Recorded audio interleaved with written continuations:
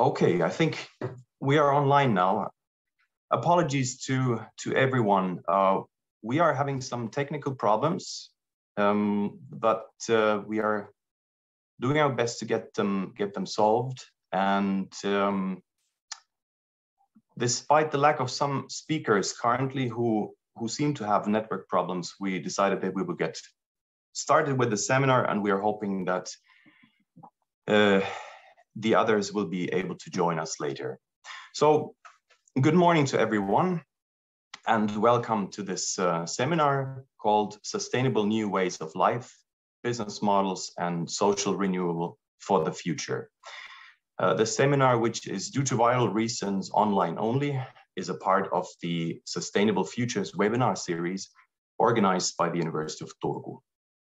My name is Jan Hermes. I work as an assistant professor at the University of Oulu, and it is my pleasure to guide you through today's seminar.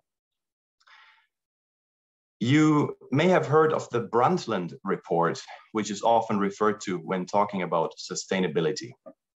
It was published about 35 years ago, and the report's key message, roughly speaking, is that in order to be sustainable, we need to meet not only the needs of present, so our generations, but also of future generations.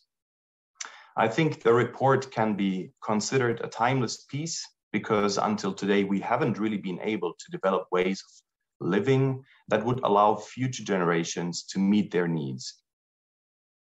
Even more so, parts of our present generations cannot meet their needs. Why is that? From a socioeconomic perspective, and put very simply, one could say that we are consuming too many resources and produce too much waste. And both is often done in a socially unfair manner.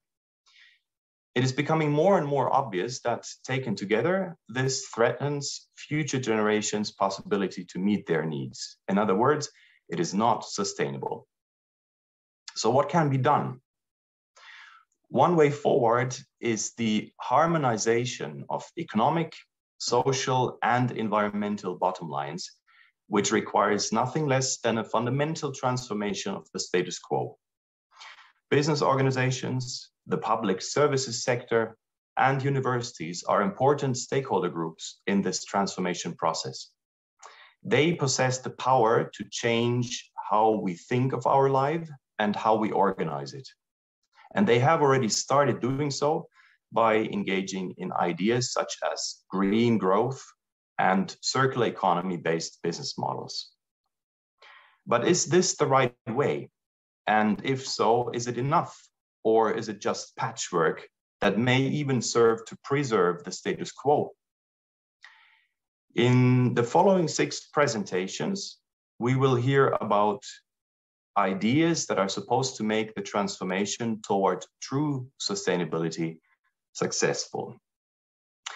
It is my pleasure to welcome, in chronological order, Jyrki Katainen, President of the Finnish Innovation Fund Sitra, Juha Kaskinen, Director of the Finland Futures Research Center at the University of Turku, Pekka Hänninen, Dean of the Faculty of Medicine at the University of Turku, Riku Santala, Professor of Practice at Turku School of Economics, Katriina Siivonen, University Lecturer and Adjunct Professor at the University of Turku, and last but not least, Maija-Riitta Ollila, who is Professor of Practice at Turku School of Economics.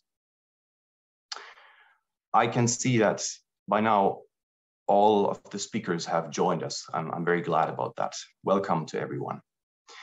So each presentation will be about 15 minutes long and followed by a discussion. And if you in the audience would like to contribute to the discussion, which I very much hope for, please post your comment or question in the chat function of this Zoom session. Uh, thank you to those of you who already shared your questions up front. And then finally, I would like to apologize already at this point for not being able to bring forth every raised question, uh, and that is due to the given time schedule. Now, without further ado, I would like to hand over to Jyrki Katainen, our keynote speaker, who held several high positions in politics in Finland and the EU. He currently functions as the president of Sitra and sees sustainability as a potential source of growth. Jyrki, the floor is yours. Thank you very much. Good morning, everybody. Luckily, we managed to to to go over the technical problems, and we are here now. So today I will talk about the sustainability as a source of growth. And in this presentation, I look at sustainability only through ecological dimension. So I don't concentrate on social aspect that much. So we are in the midst of paradigm shift in many ways, but especially market economy uh, as an economic model is in change. Uh, it's not in change uh, in terms of the way it functions, but the, the driving forces of market economy and motivational factors are in change. So, uh, as we all know, the market economy itself doesn't have any values by nature. It only have has features. People, politicians, consumers, and customers determine the values of the market chains. And this is exactly what I meant when I said that motivational factors and driving forces behind market economy system is in change. So in other words, if we want to maximize the sustainability benefits, what the economy can produce, we have to take care that the, the factors which enables market economy to function efficiently uh, works well. So sometimes, at least in the past, uh, market forces and market economy has been seen as a, the worst possible enemy to the sustainability. And this is true if it if you don't change anything. But if it change the motivation factors behind the market economy, then we can use the market economy as a tool to maximize sustainability. And this is something I believe strongly that we need to, to combine sustainability needs to the way the market economy is functioning. Otherwise, we cannot get the benefits of sustainability. There are three main elements, elements in ecological dimension of sustainability. The climate change, there's a necessity to address the climate change. Biodiversity loss, which I'm going to say a couple of more words later on, and circular economy. So we all know basics or quite a lot about climate change and how to address it. Consumers can make sustainable solution in order to reduce their personal carbon footprint, for instance. This quite well-known factor already now. Companies are doing new investments in order to reduce their carbon footprint because their customers and clients are asking them to do so. So, so the direction is clear when it comes to the address, addressing climate change. But biodiversity loss is somewhat more new phenomenon. I believe that within next five years or 10 years, biodiversity loss, loss issue will be as big issue as climate change is today.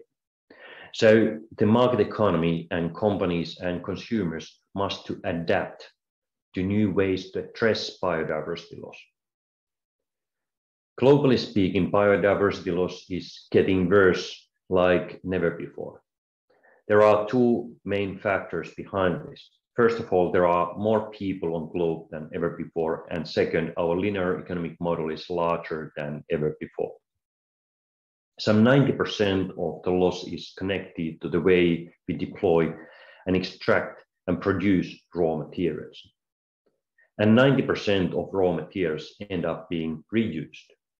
So these two facts alone are good reasons to, to change our current linear economic model. Circular economy is partial but significant solution to, address biodiversity loss, as well as climate change.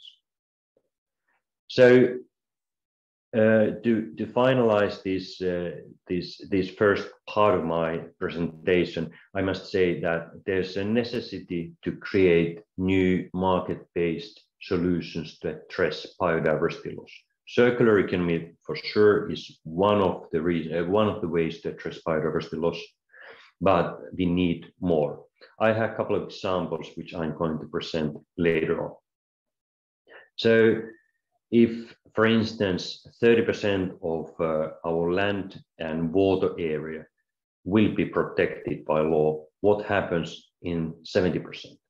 So we cannot let the 70% untouched in terms of protecting uh, biodiversity of our globe. So next I will concentrate on uh, circular economy and especially I would like to present some concrete examples how circular, circular economy has de developed in, in Finland. We can go to the next slide, please. So the development is taking off quite well and Finland, I must say, is one of the top countries uh, in terms of uh, developing new circular economy business models. I previously worked in the European Commission and I was in charge of uh, circular economy policies. Mainly, we concentrated on regulatory dimension of boosting circular economy. So circular economy was seen as significant part of single market project of Europe. And we wanted to uh, create favorable business environment to boost circular economy business models. And there in this work, I recognize that Finland, together with Denmark and Sweden, are on top of the world when it comes to, to circular economy development. But still, we are in the, the beginning phase of this journey. Next slide, please. So we can probably jump next three in order to save time. And let's go to the slide number seven. Sitra has listed uh, the most interesting circular economy companies since 2017. Our aim is to show good, show good examples how some businesses have already adopted a circular economy business models and thus encourage the others to follow suit. We have categorized five different business models which uh, illustrates how differently companies can uh, achieve a, uh, a circular economic business model concentrating on different factors. For instance, product life extension is one uh, business model category. Their products are used according to their original purpose for as long as possible, or repaired, or repurposed for multiple reuses. Product as a service is the second way to organize business according to the circular economy principles. Their customer pays for certain functions or performances and avoids risk of ownership. Sharing platforms, they are also familiar with many of us. Their digital-based platforms are used to promote an increased use of goods and resources and the extension of the life cycle. Renewability means that renewable, recyclable, and biodegradable materials, materials are at the core of this business model. And finally, reuse efficiency, resource efficiency, and recycling is the fifth. Next, I will uh, showcase a few um, pretty well-known companies which have changed their business models to become circular. Traditional and famous tractor producer Valtra, for instance, has changed the business models to become circular. Every time when they sell tractor uh, to someone, they put deposit on gearbox. Similarly, as we have a deposit scheme on Coke bottles or beer cans. The reason for this business model is that Valtra wants to get the broken gearbox back for repurposing it. And they want to resell it. So they have calculated that that to produce brand new gearbox means a lot of uh, workforce, lots of uh, work-related costs. It means lots material-related costs. It, it means a lot of design-related costs. And it makes economic sense just to uh, repair broken parts of gearbox and resell it. So it's a good business. And it also saves uh, scarce resources. The next example is uh, uh, Lindström, which is also quite well-known workwear producer in Finland. They kind of lease or rent workwear. So it's in their intention to uh, produce as durable workwear as possible so that they, keep, they can keep the workwears uh, as long as possible in the market. So they take care of the maintenance of the workwear. And as uh, Vice President, Senior Vice President Kaisa, Anna-Kaisa Huttunen says, we reduce overconsumption of textiles and save natural resources. Next um, is uh, Fiksu Ruoka, which brings surplus food from the restaurants to people's doorsteps. And in this business model, they, uh, they can reduce uh, food waste. Uh, and next is Swappie, also quite well-known brand in, your, uh, in, in, in uh, Finland. They repair smartphones. This was not possible in terms of costs, cost efficiency a few years back, but now it's a good business. So, so it's quite striking that people buy a new phone about once every one and a half years.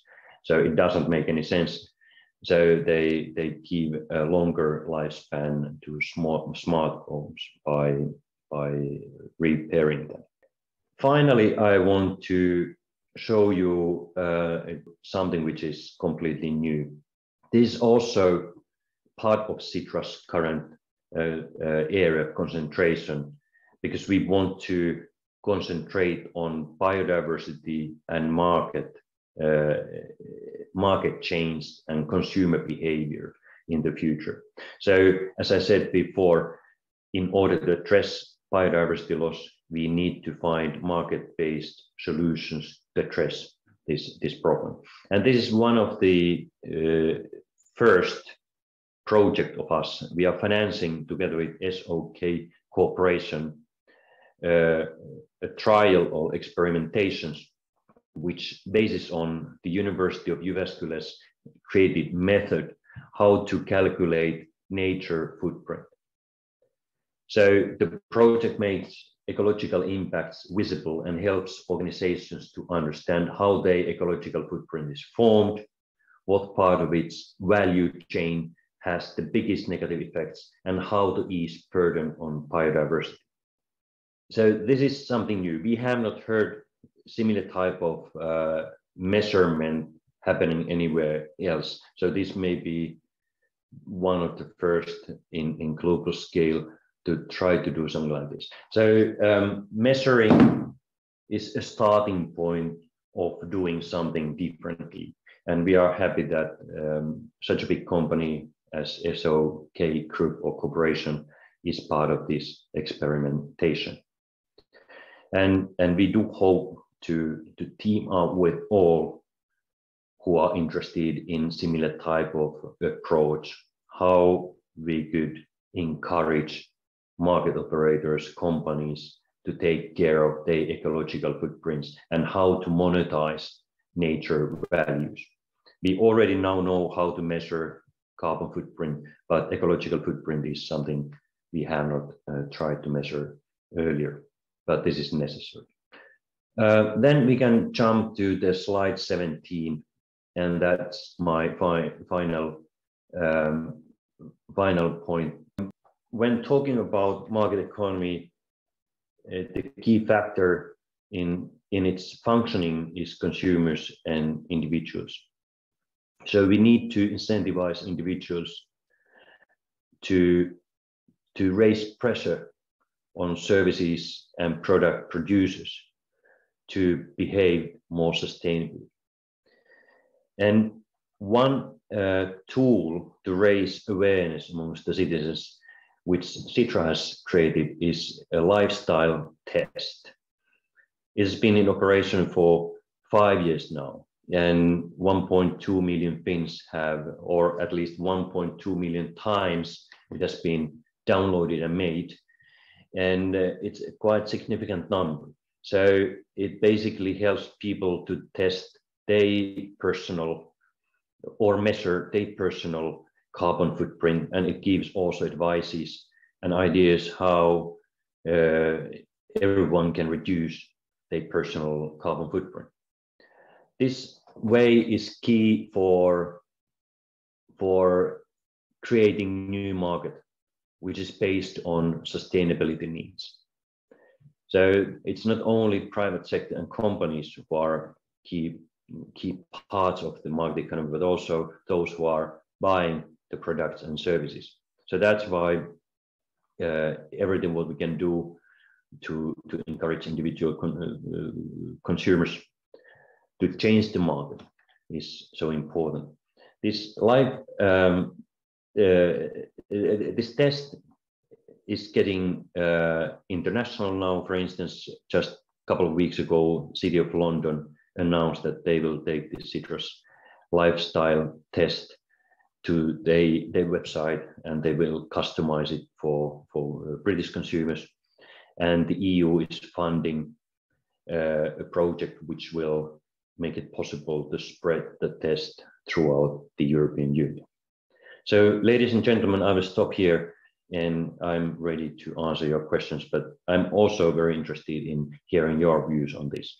And, and especially I'm interested in hearing if there is anybody who is um, willing to, to join the journey to, to find market-based approaches to address biodiversity loss. Thank you very much. Thank you, Jyrki Katainen. Thank you very much for an interesting outlook into, into the future. Um, there are a couple of questions that I can see that were posted. Um, uh, Riku actually is asking, uh, how do you see the roles of companies and smaller firms in developing sustainable business? Yeah, I, well, if the whole market is changing, then it means that value chains are forced to change too. So, so um, it doesn't go like this that only big companies are part of this future development. The smaller companies cannot cannot be part of it. So if the whole paradigm is shifting, if if the sustainability is elementary part of of um, of entire economy, then it means that also smaller businesses must be part of it.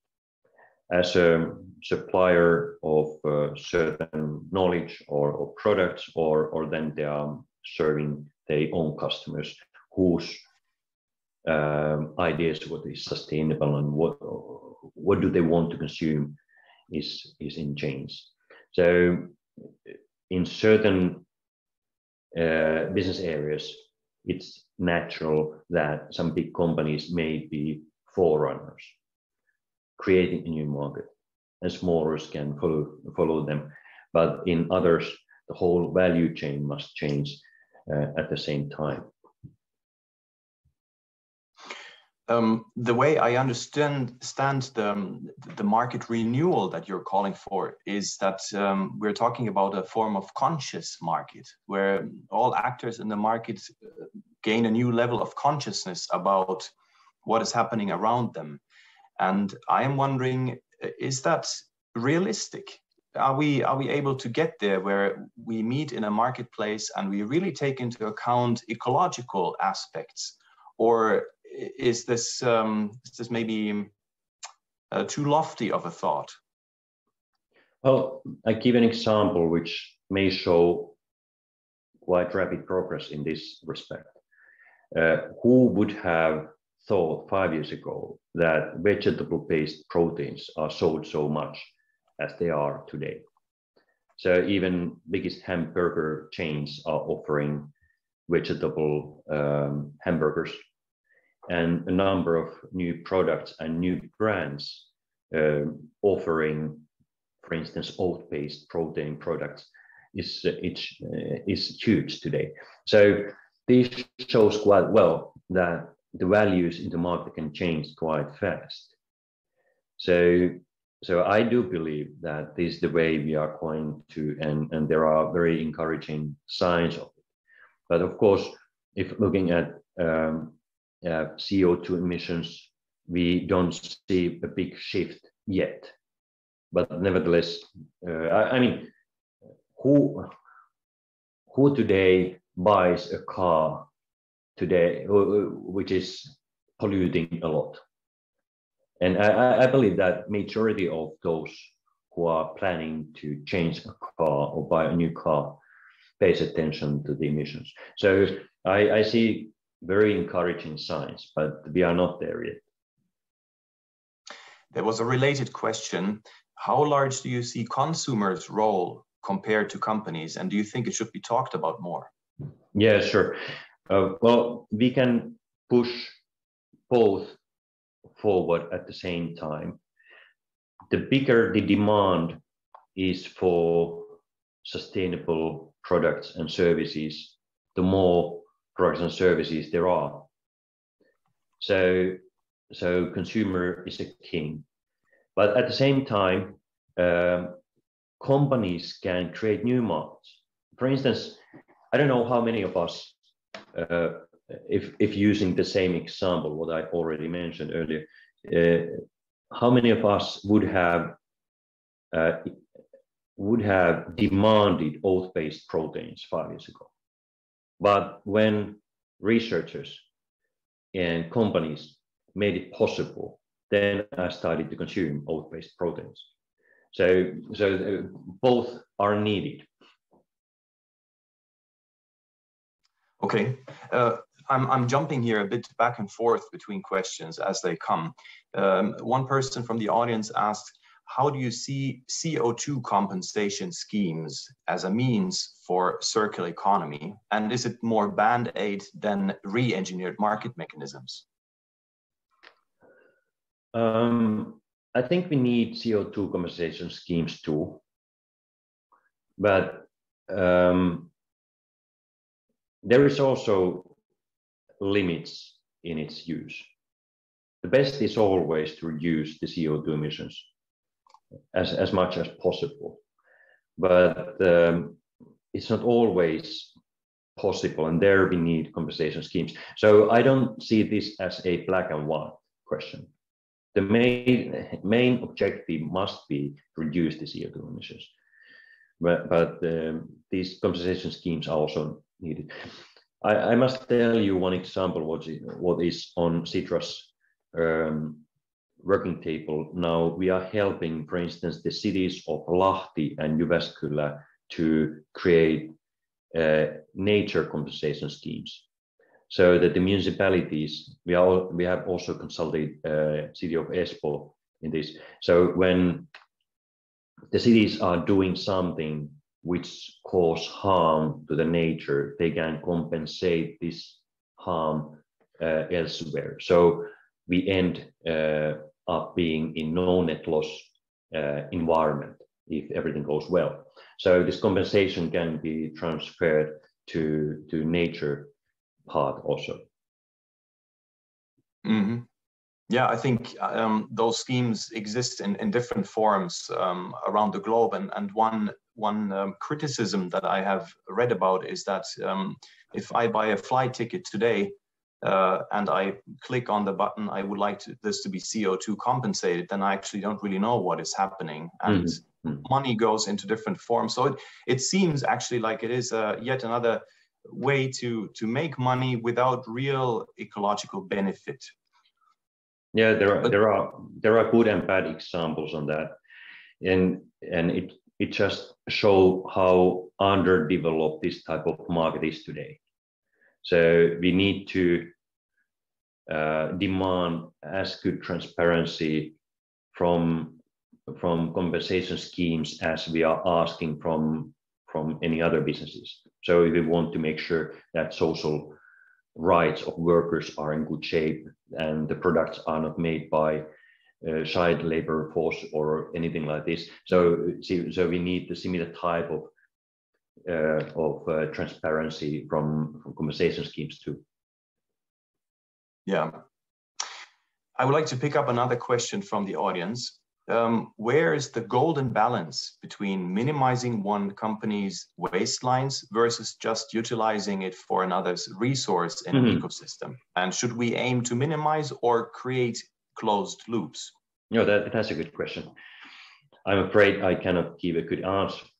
That's a good question. So, so uh, I understand the logic that if there is incentives to produce as much waste as possible because somebody's paying for getting for uh, uh, uh, for a raw material to produce something something else, it, it's not sustainable. So um, that's really a good question. Uh, well, it's always better not to produce um, too much waste. So in ideal case, the company is not producing waste at all, or if there is a waste in some part of the production, they could use the residues for, for producing something else. But this is not always possible. So uh, I'm afraid, as I said, I, I, cannot give a complete answer to this, but this is certainly an issue which must be kept in mind. So uh, in order to avoid um, to create false or or wrong incentives. Yeah, as you said, I think you said it in the beginning. This requires a different view on on markets, and I would say we need to go even a step deeper. It needs to. It requires a different view of, of how we are willing to lead our lives and uh, where we set our preferences, both when we go about business and, and in our role as consumers. Exactly. Uh, here's another question from the audience. Um, we have a history with the light bulb conspiracy and other moves that were good for business but had bad environmental effects. How can we overcome this kind of business acts in the future? I, yeah, I probably can give only partial answer to this. Um, um, when we talk about circular economy or more sustainable economy, it means that the market must be regulated differently than before. And every once in a while, it happens that there's a good intention to regulate the market, but but uh, time will show that this particular piece of regulation did not function as, as it was uh, as it, it, was designed or meant to function. And this is reality in the current economic system, but uh, it's the same challenge even when we are promoting circular economy. So market regulation is never easy. Everybody can agree that we need new regulation which encourages businesses to to change the business model to become circular. But uh, but then how to do the trick? It's not at all easier in circular economy or in sustainability issues than in linear and polluting markets.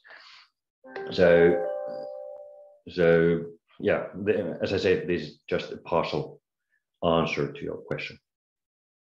I, have been, uh, uh, I have my own experiences on that. I was a European regulator on circular economy, and and um, sometimes it was really difficult to find right measures because uh, some good ideas might uh, or they they they they were not good ideas when you went deep enough. So um, I found very often myself in a in a place where uh, the initial idea was bad because it was sub-optimizing some some uh, businesses or sub-optimizing the results.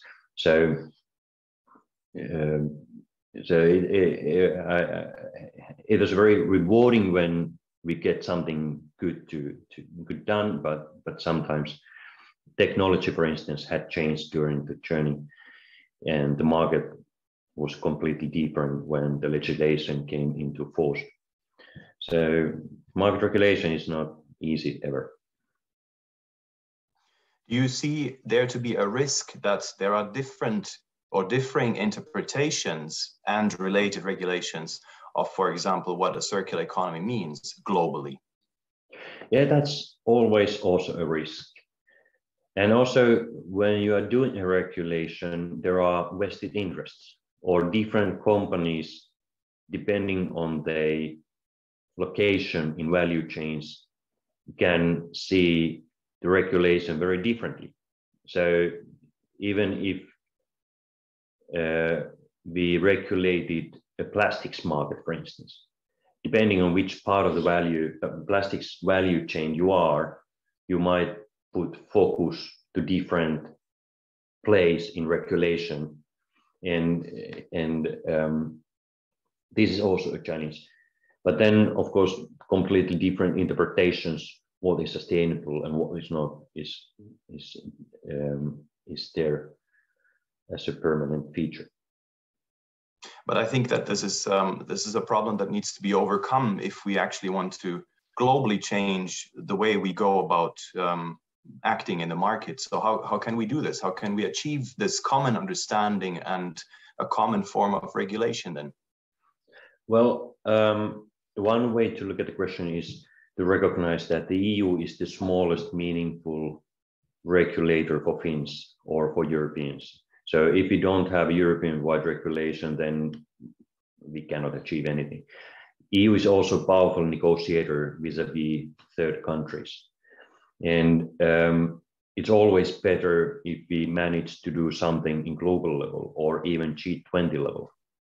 So there are some some uh, exercises going on uh, in G20 level, uh, which is an OECD level to to form global regulation on certain certain things. But the EU is um, has has um, proven to be quite influential global uh, player once it gets something done. For instance, this financing taxonomy is very important and interesting. I know all the risks and, and uh, problems around it, but um, it's a good sign that something um, uh, something can be done, even if it wasn't the perfect model. Mm-hmm. If you allow, I'll, I'll take one last question from the audience how do you see the future of biodiversity in the context of Finland's forest industry and growing demand for preserving resources versus growing new economies? Yeah, I know, I know that forest industry is um, in very important place. So it's easy to say that we have not done enough in order to protect our own um, biodiversity. But it's also easy to say that those who owns the forest and who use the forest, for instance, forest industry, has done quite a lot, and they are doing more. I give you an example. For instance, UPM, well-known uh, traditional paper company in Finland, uh, is one of the first, probably the first, for, certainly first in Finland, but uh, I bet it's the first company in the world which has connected its financing costs to uh, biodiversity targets. So um, they have a special fund within a company um, which interest rate varies according um, whether the company has achieved its CO2 and biodiversity targets. So there is independent panel who is analyzing whether UPM achieves biodiversity targets yearly, and it it does. Uh, interest rates are lower. If it doesn't, they get up.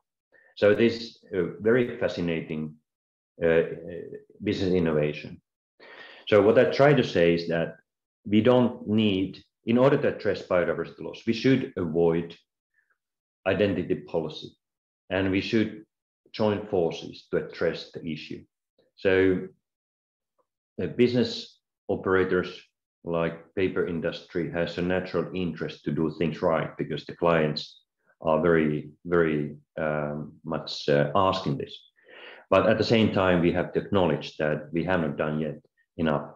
So, so that's why I, I do hope that that biodiversity issue wouldn't become a similar type of identity policy politics uh, as climate change has been, because um, the more we fight against each other, the less there are results.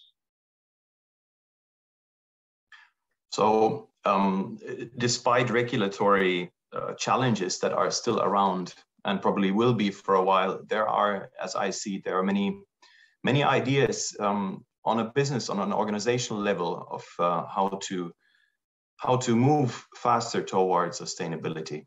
Okay, thank you very much. There are more questions now in, in the chat. I'm sorry, we uh, we need to continue. We need to carry on from here. Thank you very much, Jyrki Katainen. Thank you. And uh, we will move on to the next next presentation um, by Juha Kaskinen on the obstacles and slowdowns in the implementation of the circular economy. Juha, uh, the stage is yours. Thank you. I hope my you hear my voice and see my slides. Perfectly, yes. Thank you very much. Um, after a couple of scary moments in the morning, it's nice to be here. So luckily the university network is back on.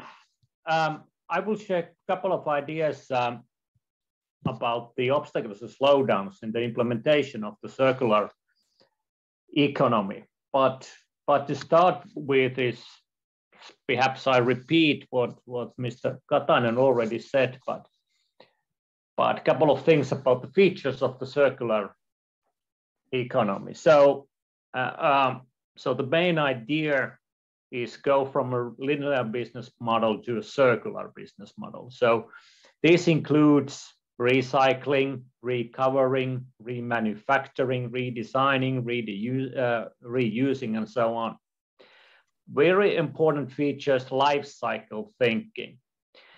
Um, and see the business, uh, connected to each other. Uh, we need resource transformation. It's not just an economic issue. It's also environmental issue, as we have heard, and it includes many social aspects. As a development platform, it can be said that this is a, uh, the quadruple helix is, is, is in a way the organizational model to promote circular economy. Uh, to myself, I see circular economy as a subcategory or additional category of bioeconomy, in which we try to uh, get rid of using non-renewable uh, natural resources and compensate them at compensate, we should use the renewable uh, resources so that the renewable resources are not exploited too much. So this is the really big picture of, of circular economy, at least to me.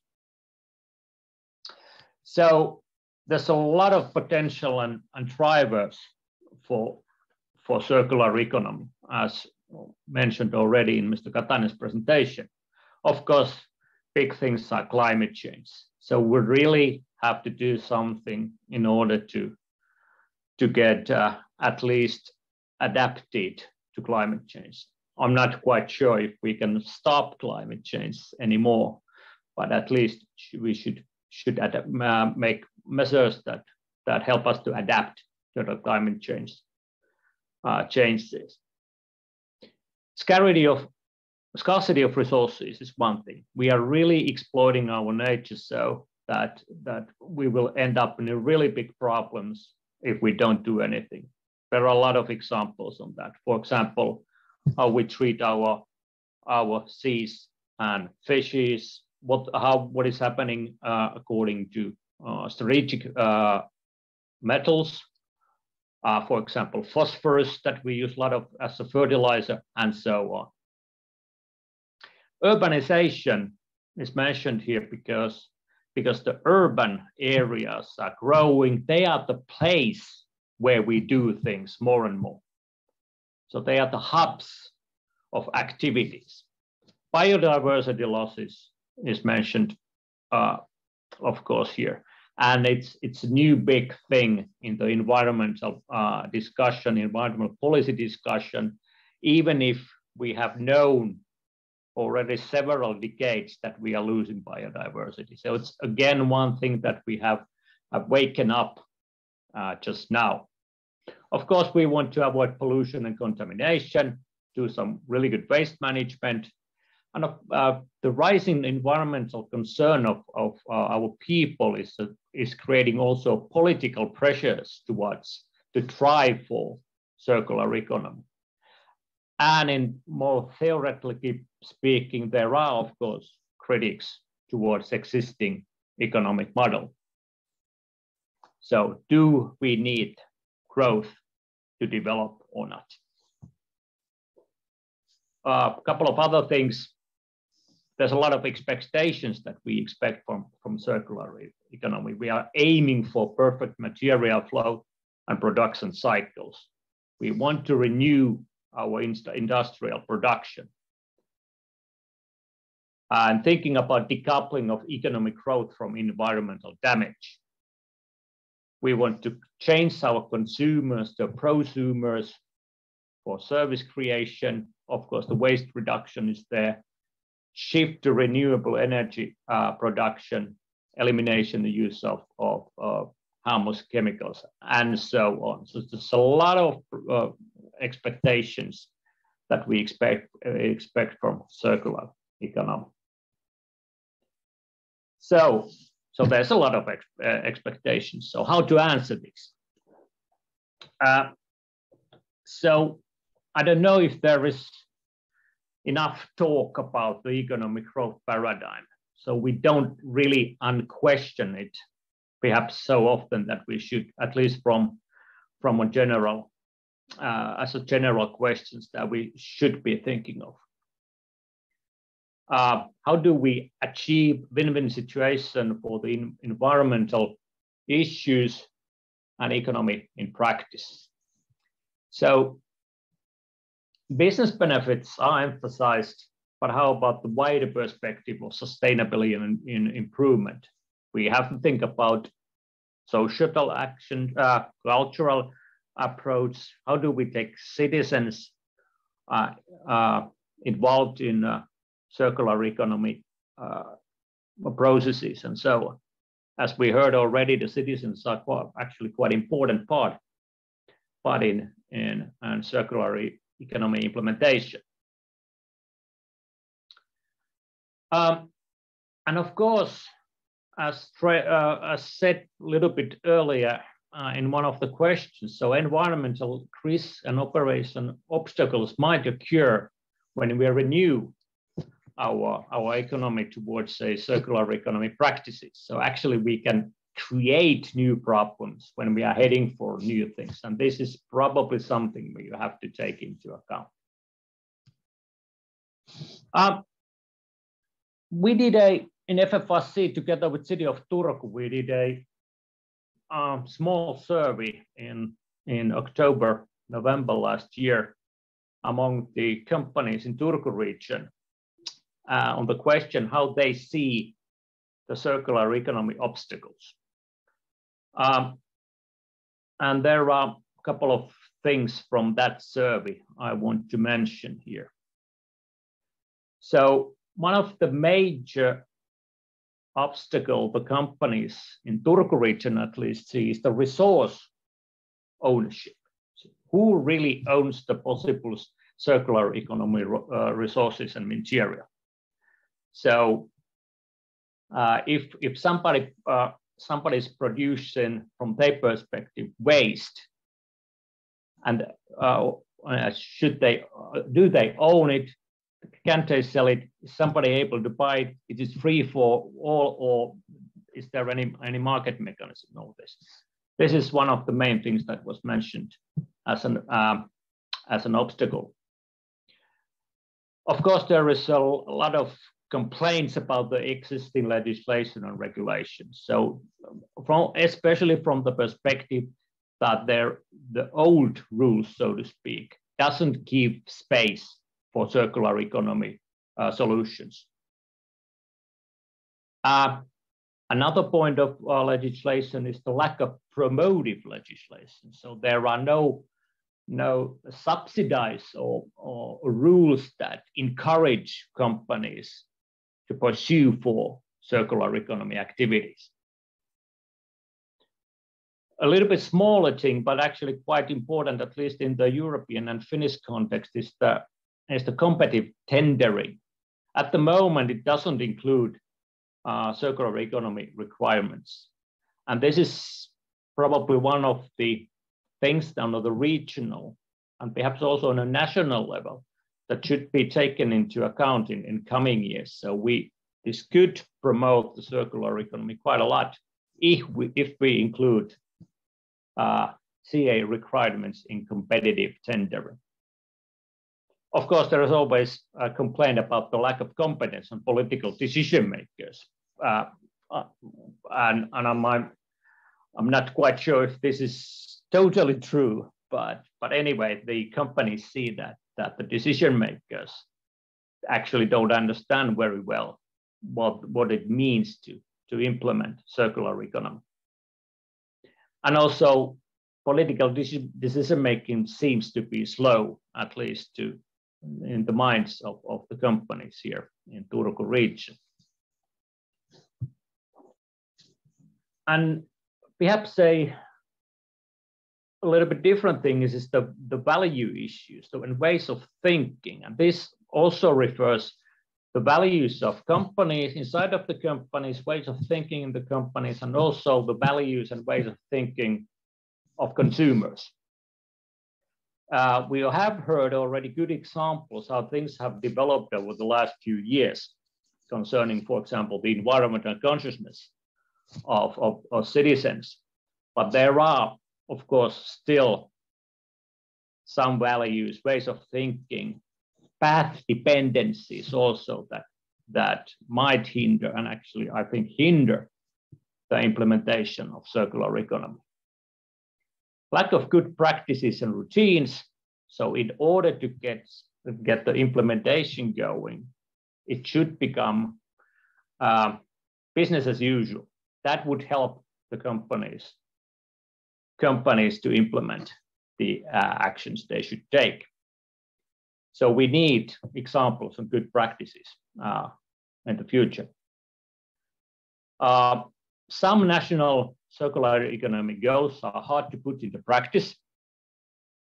So at least in the local level, the companies see that, okay, we have a quite grand tasks, but how to actually implement them on the local and regional level. So this was mentioned uh, quite uh, several times in the survey. Uh, problems of the side stream functionality and reliability. Uh, this uh, is in relation with the ownership issue I just mentioned uh, a minute ago. So the, the market and this uh, the flow of materials this has not developed as well as it should. And of course, there are change resistance, both in, in consumers, in organizations, in companies also. And all, I already mentioned path dependency as uh, one of the things that is, uh, is seen as, as an obstacle for the uh, circular economy development. Uh, we have just published the report last week. Uh, so, but unfortunately, it's in Finnish. So let's see. If, I hope I hope we can make a make an English version of it. But it can be found on on our our website already. So, how to overcome these challenges? So the companies see important to take part to the regional circular economy networks, following then assessing the information and communication in them. Uh, all this needs some sort of improvement of our knowledge management. The information and knowledge about circular economy should be spread wider. One way to doing this, especially among the small and medium-sized uh, uh, organizations or firms is developing circular economy business box. This is actually quite, quite interesting result. We have to take into account the need of different type of, of enterprises. So small, medium size, micro even, then how involved they are in a circular economy, what type, in what place there are in the life cycle of each materials and so on. So there is no uh, one solutions to all. So the complexity of the uh, field of enterprises have to be also taken into account. We probably need a holistic and systematic approach towards C, and this goes hand in hand with the life cycle approach. So you have to see the big picture in order to see your place uh, as a firm in the whole life cycle and where the businesses are. Uh, quadruple helix development is, is something that we, we, we also need to overcome the challenges. So in general, rethinking the ownership, developing sharing platforms and use of them, de developing different producer ownership pilot models, assessment of the experience is needed, of course, improvement of products, longer life cycles by creative uh, planning, making sustainability goals of uh, circular economy better known, widening the goals to all production, improvement and foresight of, of awareness of the value changes and systemic changes. So these are the general ways, more or less theoretical level, to do uh, to do uh, things that that help us to overcome the challenges of circular economy implementation. And I did it in a 50 minutes and 28 seconds. So I hope Janis, Janis, uh, congratu congratulations uh, me for that. So thank you very much for your attention. Thank you, thank you, Juha. Yes, wonderful. Um, I think um, yeah, this was, I think, a very encompassing view of what hinders and potentially helps implementing circular economy on, on different levels. And uh, what struck me was the, the again, the need for, for a regulatory aspect or the regulatory level that plays a big role. You said it, uh, what we currently have in place, the legislation and regulations, they do not necessarily fit um, what we would need in order to be able to follow a circular economy model. Um, I would like to pick up a couple of questions from the audience. Um, let me see, here is one. So um, can business ever be truly sustainable if the base idea is still to sell as much as possible? For example, clothing company uh, H&M, who has done a lot of so-called sustainability actions, but whose business at its core is still unsustainable? Oh, no. well, the logic of business, at least so far, is, is, is to make profit. So the, I think the question is where the profit can be made of. So, and the circular economy, I think it's the way to a better way to do sustainable business because then then you can use and, for example, recycle the uh, clothing materials. So it's um, so what would be the uh, another end? It would be some kind of world that there is. We probably would be in some sort of matrix type of world that we actually don't consume that much, and and uh, so at the moment when we are heading for the future, I think we this problem cannot be solved yet, but we have to take this small, smaller steps in order to achieve more sustainable way to produce and to consume issues. And circular economy is at the moment, I think, the best answer to it, together with bioeconomy, that we can uh, uh, think the materials are circular and use the uh, re renewable resources for our production. Of course, the the uh, we have to think about do we need how much growth do we actually need and this is a, a quite a big big uh, discussion, for example, among the environmental uh, economists. So, what is the what is the role of growth in all of, all of this? I think we could live without so many things that we have, but that's my only my personal view. Yeah, a related question from a consumer perspective is what do you think about the attitude action gap? So that people are these days more and more interested to act sustainably, but uh, still do not, this does not show in purchase decisions.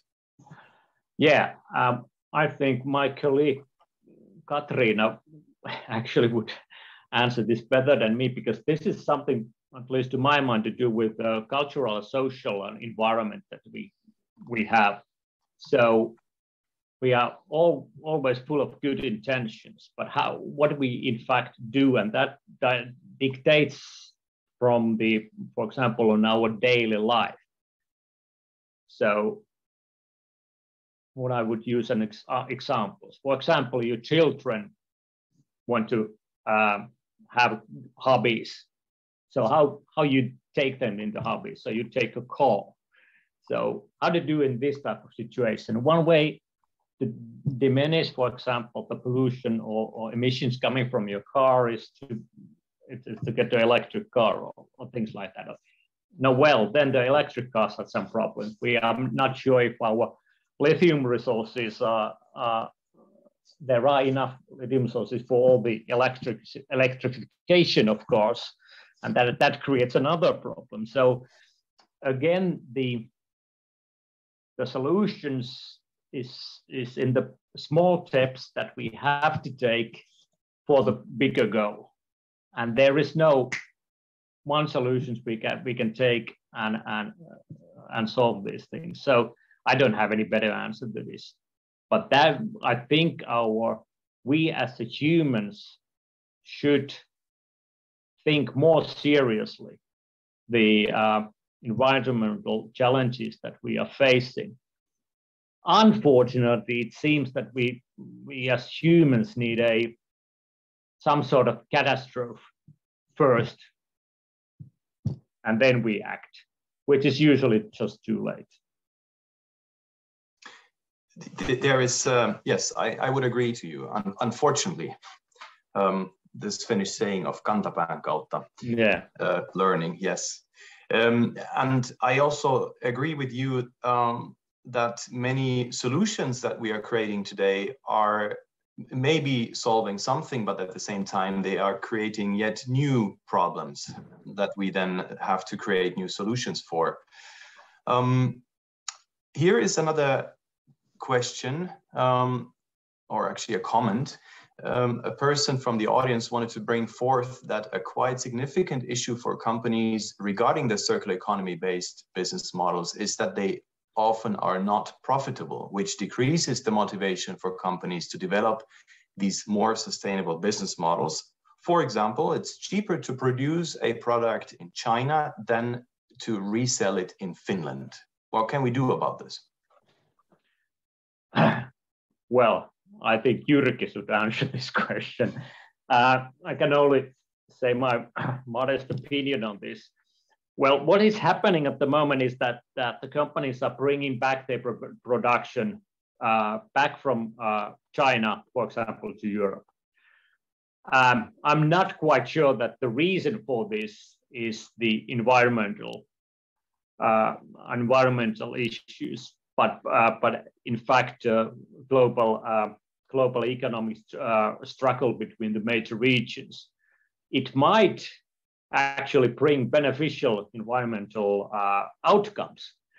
But, but I don't know, I'm, I'm quite sure that the motivation uh, at the moment is, comes from, from different sources than environmental issues.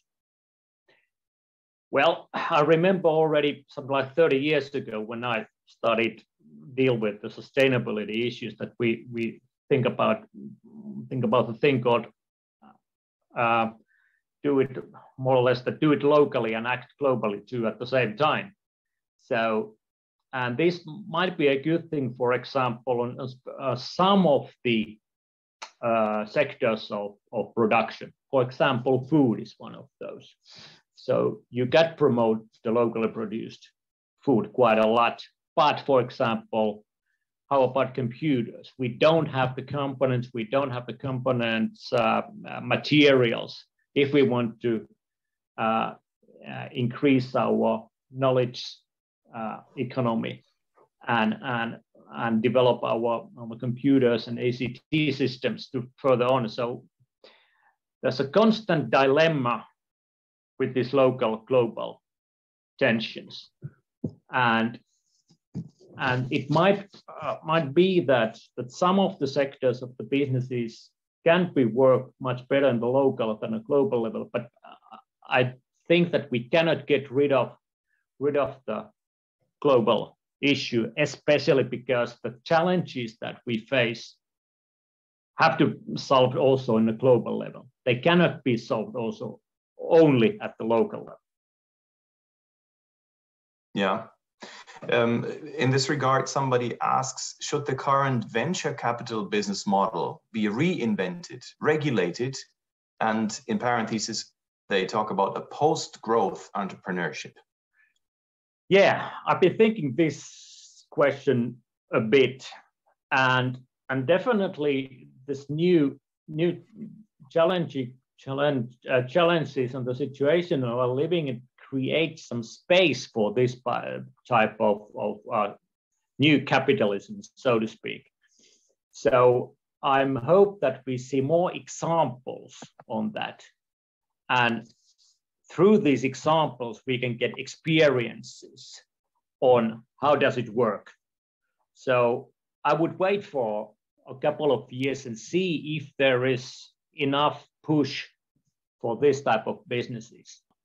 But I don't know does it work. We have to wait and see if it if it's a it's a if it's a solution for for to renew our business thinking business model and the whole paradigm of our economic thinking. I imagine now hearing some people in the audience saying that we don't have those years time to wait and uh, experiment. Um, but yes, in, in, in principle, uh, that is probably the way the way to go. Um, I think uh, time time is almost up. Um, I would like to thank you uh, Juha Kaskinen for, for your view on, on the circular economy, what it hinders it, and how it can be overcome. Thank you very much for this. Thank you. And um, then I'm continuing from here um, with our third speech, our third presentation. Um, actually, now that we talked about um, looking at certain examples that can um, help carry us into this era of a circular economy, uh, a related um, presentation by Pekka Hänninen on business model transformation in healthcare, research and education, developing change. Pekka, thank you. The, the stage is yours. Thank you. Uh, uh, as uh, stated, my name is Pekka Hänninen and I'm a, from the background, I'm the professor of medical physics and engineering, and currently I'm also the dean of the medical faculty. And uh, looking into my background in research, I've been uh, doing my career mostly in in um, developing diagnostics tools. So so this is uh, maybe the viewpoint where which I'm taking also in this this talk. Now, um, thinking of medicine and how does um, the sustainability connect to to to healthcare the important parts are obviously uh, related to social sustainability and use and division of resources. And, and obviously, if you are thinking of development of healthcare, here we should think globally.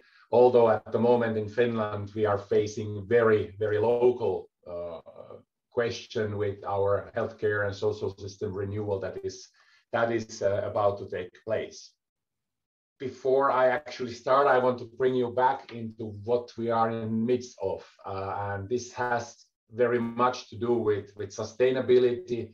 Uh, obviously, um, viruses um, among the most primitive creatures around the world have been circulating around us for a long time, but uh, I don't think there's much disagreement on that, that this is the 2020 uh, or 2019 um, SARS uh, COVID um, pandemic has a lot to do with the way we live nowadays. In fact, if you are looking at literature and uh, and uh, how things have been happening, is we are talking about a pandemic that is uh, in the same scale as the Spanish flu 100 uh, years back, and and this is striking striking really in in numbers. Obviously, uh, we don't have the full numbers, but it has been estimated that we have about 20, 20 million people dead by now, now because of COVID. And uh, this I just wanted to bring you that that we um, sort of like uh, get the view on how we view our our health. It's been going on for two years, uh, and what has been happening is is this: people are running on streets and demand that they have the right to go to pubs. And, if you're looking at, at what has happened with, with economy, there was a dip, people get scared. But after that, what has been going on? Obviously, governments are pumping money into the into the economical system, but the growth has been really, really strong, and people are just waiting to get out of this. So, so uh, thinking of how important health is to us this is a very difficult question and of course this then then leads leads into into uh, ways of behavior that we we take hmm.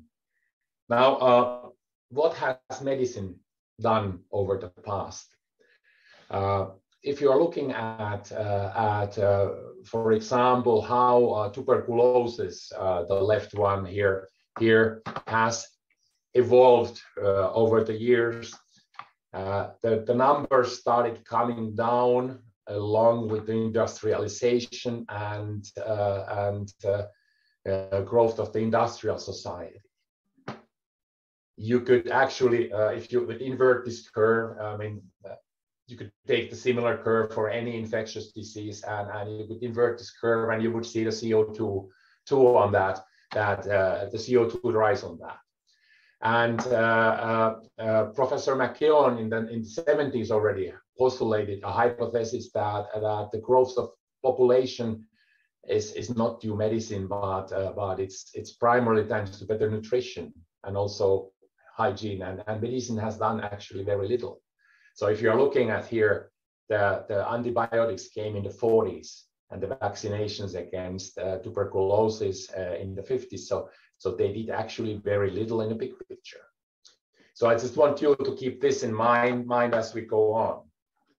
Now, uh, looking at, at data uh, globally about healthcare systems, systems, what can we learn? Now, I've uh, purposely taken um, COVID-19 out of this one because it has some effect and, and look at the big picture on, on uh, without COVID.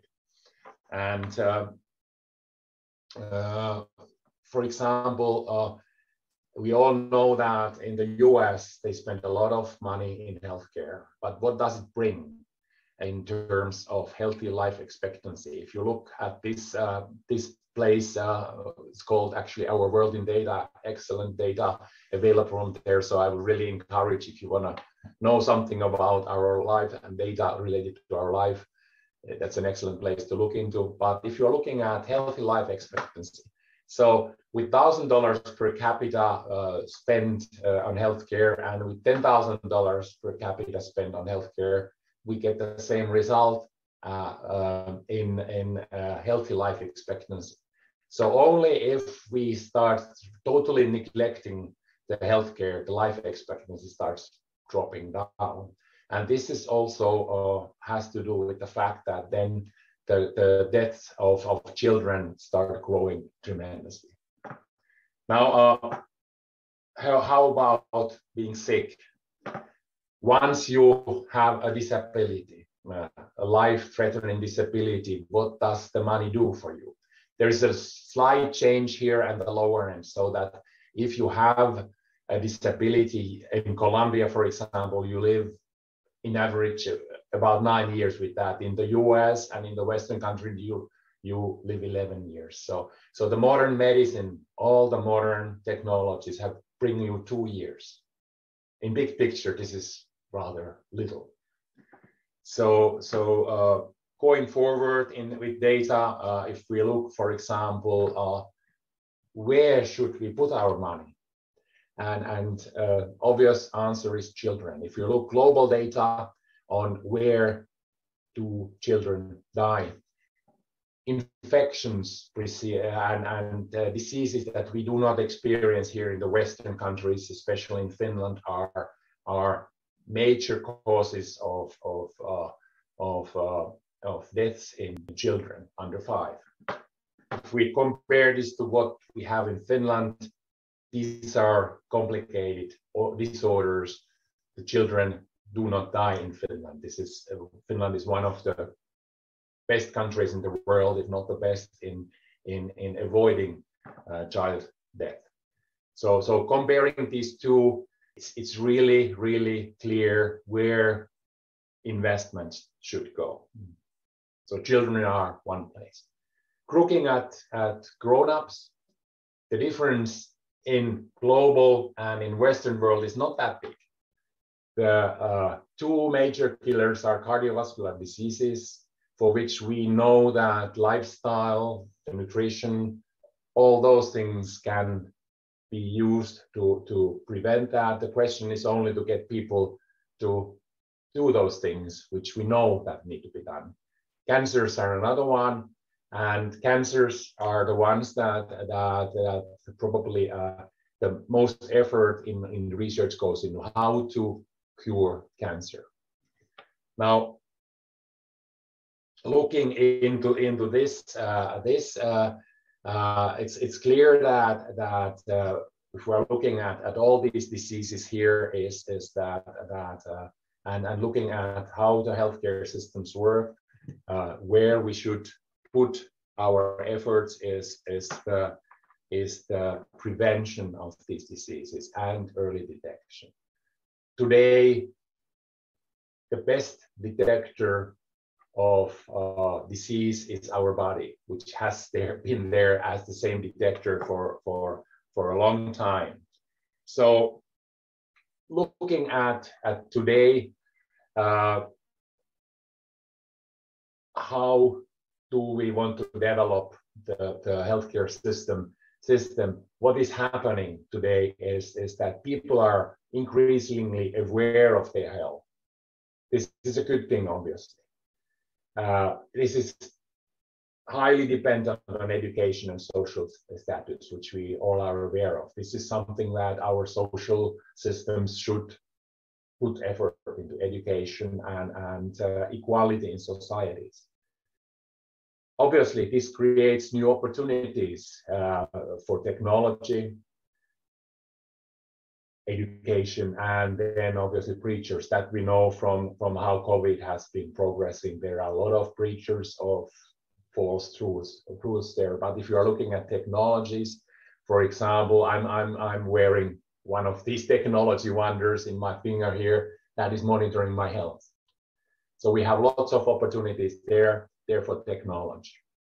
Now a new thing that has been really pushing through due two factors first of all, because of this COVID uh, pandemic, and, and in Finland, for example, most importantly, because we have a lack of resources in, in terms of, of doctors and nurses, uh, the, the uh, remote services. And at the moment, for example, in Finland, there are some areas where more than 50% of health visits are covered by, uh, by remote services. This is an area which then uh, is uh, is uh, somewhat also uh, disputed because uh, especially older people have trouble of of of using these remote services. They have trouble on explaining what their situation is is, and they do not demand their rights similar to a little bit younger people people. So they might be left out of some treatment. And also, if you have a first time uh, uh, visit of a patient, it's rather impossible for the doctor to make good diagnosis. So, So, so uh, it's not really a, recommended uh, practice for first-time visits. Only if you if you are uh, on a lighter side of the of the of the health visit. But this is these are the problems that need to be handled.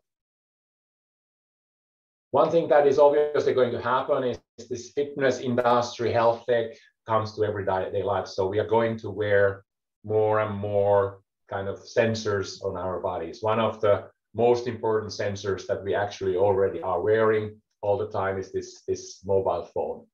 So, so mobile phones we carry and it's full of sensors. There is, for example, a company in Turku that has productized uh, their ideas into into looking at uh, that at uh, uh, at uh, cardiovascular problems. So you just place the the uh, the mobile phone in rest on on your chest, and it will analyze your heartbeat if there are irregularities. Things like that will come come in the future. Mm. One uh, obvious problem is, is uh, from the educator's point of view that young doctors, when they are doing their, their uh, compulsory time in, in, in, in the primary healthcare care, uh, that they are facing, facing opinionated customers, customers that know what they are in need of, although it might be totally wrong. Uh, one thing that I can see that is very important that, that, that, the health industry has to start looking growth in, in the developing uh, countries. Many of our Western world solutions, they are not economically nor ethically sustainable. Uh, large uh, pharma, for example, has been developing uh, specialized uh, medication for, for uh, treating cancers, advanced cancers, special cancers, and those treatments uh, are so costly that they can go up to hundreds of thousands of euros per patient. And this is not sustainable. We have to move to an earlier, earlier stage where, where we can uh, detect the cancer earlier and treat it at much lower cost. Uh, this cost effectiveness criteria uh, in healthcare, this is something that has already been in part partially coming into, into that, but that is something that, that that is obviously going to be a big part of our, our uh, healthcare systems. Mm. So a lot of uh, effort in the future will certainly have to go into, into early detection, detection and avoidance of, of non-communicable diseases. We all know that, that the adult type diabetes can largely be avoided if we are leading a healthy lifestyle. This is something that that educators, that people have to take seriously because the cost of adult type diabetes is enormous for, for, for the societies. But it's also a life-threatening condition, it's shortening life. And, and there are a lot of similar examples. One example then is the cancer, which should, we should be able to detect cancers much earlier through screening campaigns that are affordable, that are uh, done in a, in a way that, that people will also attend that. Uh, one big question, of course, after COVID is is that that we put more shall we put more effort on uh, effort on infectious disease control, or will we forget? My sort of fear is that we will forget part of it. We see already that on the on the neglectance of some of the measures that, that are that and the criticism of the measures on, on, on uh, controlling the COVID at the moment. And, and one of the, uh, the important things uh, uh is that we will learn to use data better. There's enormous, enormous amounts of data available uh, uh, already today that we are not using, using well. And, and this is something that we put effort, effort into. in education, what we do at our faculty, but this is not unique in a way that this is what all the faculties in Finland do. What what the medical uh, uh, uh, educators want to do is is to, to be in close collaboration with all the service providers to get a good feedback on what is needed on on education. Our problem is that that starting from a fresh uh, high school graduate to a medical specialist, the shortest time span there is 10 years. So if we have a need for something in 10 years, we can respond to that need. And it takes six years to get the license to begin with. Uh, there are growing need areas. So we generate activity on, on, on those areas. We all know that geriatric medicine or psychiatry is, is in, in trouble, but so is general medicine. We don't have enough people on general medicine at the moment, specialists. Patient communication is important, especially important when the patients nowadays are more aware of what's going on. So, so this is an important area. We put a lot of effort into simulation teaching. We can simulate scenarios and then, then uh, uh, things that are not always possible with patients. And also considering small country like Finland, sometimes we simply don't have the kind of patients that education needs. We do have a science track also for the medical students. Medicine is an area where science is of utmost importance. So people have to grow with science. The medicine changes, changes in time so rapidly. And an important thing is that we do multi, multidisciplinary education. And then we have at the university this academic concept where, where um, multidisciplinary, including health related areas are taught to other students and also to, to general public. On the research side, uh, the faculty has um, been profiling for a long time already drug development. Turku is the hub of drug development in, in Finland, but diagnostics is also, I mean, if you are looking at the companies field, uh, especially in a small small area, I mean, we have lots of diagnostics companies in, in, in, in, uh, in Turku, but also in health health in general, uh, and, and that uh, includes these long-term uh, follow-up studies of on major non-communicable diseases. Those of you who are from Turku and my about my age, they will know that that we've had this strip baby program. Maybe some of your children have participated in that. Similar follow-up studies are, are being made. And the, advan uh, the, the, advantage of these follow-up studies is that if you look into past in medicine, this is like a window to the future. So, so those are important things. We also have interventions and studies with social dimensions. So, so Invest Flagship, which in which uh, Faculty of Medicine is taking part, is, is one big part. That's just, that's a, that's a, a more social social part. Uh, uh, our uh, psychiatry is in, in that uh, uh, children's psychiatry but then, for example, we have formed a center of excellence for physical activity for children and youth. We know that physical activity is, is a good way of, of, of um, uh, social, uh, um, it has a good social dimension, but it also brings a healthy lifestyle, uh, uh lifelong uh, ideas to the lifestyle for, for kids. We put a lot of effort in novel and early diagnostics InFLAMES flagship has been uh, is, is on that area. And, and then, then we are putting more and more effort on, on, on data sciences. We have data scientists in the faculty and I are hiring more. More. This is something that has changed totally over the last five to 10 years. In, to conclude, in my world, in my view, uh, what we need to do for the future is one of the things that um, Jyrki Katainen already touched in his, in his talk was the, the regulation.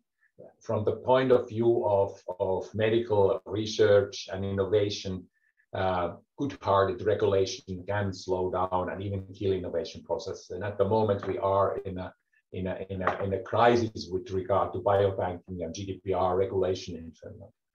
Uh, this is really uh, uh, uh, happening there. There, if we are thinking, for example, history, X-ray, uh, when uh, Conrad Röntgen invented X-ray, took two years from the in, in, innovation to for, for the first X-ray machine to come to Finland. It would not happen today. Nothing, anything near that. Uh, we need to challenge dogmas, and even in science, uh, beliefs start take over uh, over data. So, so unjust beliefs is something that if you look if you want to spend a little bit of time of looking at histories of Nobel laureates, that's where they have been struggling.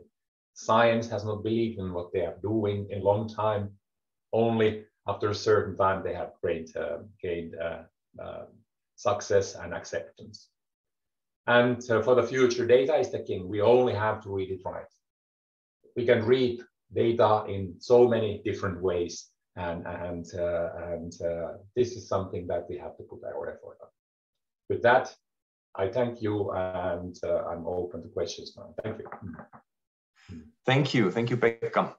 Um, very interesting uh, opportunities uh, seem to be in, in the field of healthcare, which I always perceived as a rather heavily regulated environment. And you just said that uh, deregulation is, is what uh, would be needed from your perspective. Um, I always thought that regulation exists for good reasons, thinking about patients' safety, data protection, and, and other things. So, do you see there to be a shift happening from a, sort of a state, a system where the state takes care, authorities take care, to one where we are personally, each of us individually, in charge, uh, including um, our own incentives and our own resources? I, I think this is uh, inevitable thinking of how we are at the moment distributing the resources in, in the society. So so uh, in that sense, education is very important uh, for the masses, I would say. Say and and the, the crisis, uh, the, the uh, risk that we have there is something that already mentioned. This is the social dimension. Those with less education, those with lower social status, easily fall out of out of this this. For us, the participants of this seminar, it's it's rather easy to sort of uh, study and, and keep take care of our health uh, on our own. And, and if you're thinking of your life, normally we don't need much doctor at all. All, all so we sort of like take care of that. But uh, those with so, social problems, obviously, there's a big issue there, and and the governments will not be able to. Uh, the way we are developing the societies to, take care of everybody uh, at this phase, especially with the aging population. Mm -hmm. Relatedly, one person from the audience expressed their their doubt about um, the level of trust that you can have in sensors when you are your own doctor in a way in sensors such as clocks and and uh, phones and rings this is uh, something that has to do also with the data so so uh, we don't need to trust on on a single day or a single measurement but if we are wearing wearing uh, something continuously, then then we are generating a stream of data, data of our lives. And, and as the amount of data grows, the data becomes more reliable. And that's that's what actually works with these these uh, devices that you carry. Obviously, they are nowhere near medical devices, true medical devices. But once you have grown the data bank of your own actions, then they can monitor changes. And these changes in the body functions are, are the ones that are important. We use our body as a sensor in that, that sense. Mm. Okay, uh, here is a, a, a, more technical question. Um, one person writes, I understand the potential of sensors, but there is also a growing trend for recognition technology by camera, especially in automotive industry. What's the situation in healthcare field for camera recognition technology and how do you see this technology? Uh, cameras are used actually in in in uh, all kinds of environments. Obviously, as a as a guidance tool, but also to monitor facial expressions, eye movements, all kinds of this, and, and these have diagnostic purpose. So so obviously, man, image tells you more than thousand words sometimes. Sometimes, so so there are obvious uses for for cameras, and also uh, imaging as such. So, so uh, imaging is, is, is, a, is a big part of diagnostic industry. The cameras are a little bit different from the, from the, from the cameras that we carry in our mobile phones. Then we talk about uh, different imaging devices. Mm. Mm. Um, one person in the audience just uh, sent a quote from Mikko Hyppönen from F-Secure. Uh, the quote goes, data is the, the new uranium so I think this uh, reflects rather rather well what uh, what you're what you're telling us. Um, here is a, a question um, that is maybe more socially oriented.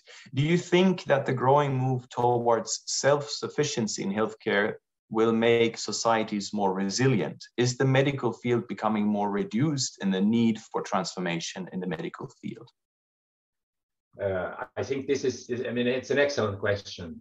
And I do not have an answer that I hope that this is the trend that we can find find there. And I think we have, at the moment, we are in a position of, uh, of taking these chances since we are renewing our healthcare system. If we are renewing it in a way that we are just using the old medicine, so to say, not taking any new innovations into it, then this will certainly lead into problems because then we just move towards the times that, that people do not get healthcare. We have to have new ideas, but this uh, sort of uh, turmoil that we are in the midst of that, this gives us the possibility of going into new paths. It's not going to happen in one or two years, but obviously it gives us, and it gives also the Finnish uh, industry a window to the future on, on, on, on, on how to work. So it, I can see this as a, as a real opportunity, but we have to use it. Uh, you mentioned before that education is key in, in preparing the, the coming generations, the younger generations, for a different way, a different kind of healthcare. Uh, I'm, I'm right now thinking of those other present generations that are maybe not so um, easily adapting anymore, or for different other reasons will not adapt to new ways of healthcare anymore. So, how do we make sure that we do not uh, leave those people out? How do we make sure we give them the kind of healthcare that uh, was promised to them already a long time ago, and which they have also financed through, for example, their taxes?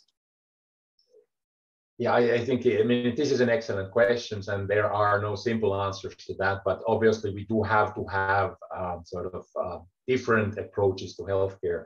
Uh, for you and me, probably the easiest way of seeing the doctor is that we just go into one of these internet uh, chats and, and explain our problem and maybe have an answer in our email or something like that. But then the younger, uh, the older generation needs to see a doctor, and and and obviously, if we release time from the from the healthcare systems to those who have real problems uh, on, on that are necessary for the for, to see the doctor, or those who have real problems in in accessing the system, then we probably are able to generate more more time for them. So I'm I'm hoping that this digitalization in in, in turn would also help that. Hmm.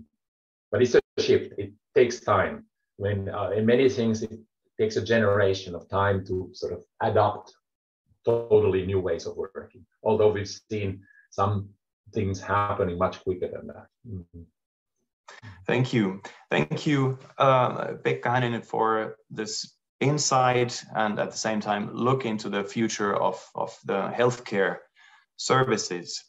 Um, now it is time for a little break. It is 11 o'clock Finnish time. We will have half an hour uh, break of half an hour and reconvene at 11.30 uh, Finnish time, then back with uh, three more very interesting speeches. So please stay tuned and see you in about half an hour. Okay, it is 11.30, time to reconvene. So welcome back to our seminar on sustainable futures uh, sustainable new ways of life, business models, and social renewal for the future. Before the break, we heard about how economic growth and sustainability can fit together, how the circular economy can play an important role in this, and what opportunities the healthcare context can provide. Now, I welcome Riku Santala to talk about universities co-creating responsible futures. Riku, the stage is yours. Thank you, Jan. Uh, I will start sharing my, my screen here. The purpose of this presentation, which I will, will be sharing with you guys today, is, uh, is to describe how universities like University of Turku and other universities, obviously also in Finland, uh, can co co-create responsible future together with you. And uh, I will highlight some um, findings of, um, of a study that we have uh, conducted on uh, on the existing ways uh, University of Turku is uh, contributing to this uh, to this topic and um, what we are planning to do going going forward. Uh, let's start with um, putting um, basically um, responsible responsibility and responsible business into the into the context and how we can understand it and uh, how that reflects to the role of the university in this complex uh, phenomena. Uh, and uh, you know here here's the um, how we can uh, we can approach uh, responsible business. Uh, I have described them here. Cornerstones, basically comprising of three items, knowledge and know-how, values, and the time, time dimension in, in problem solving and decision making.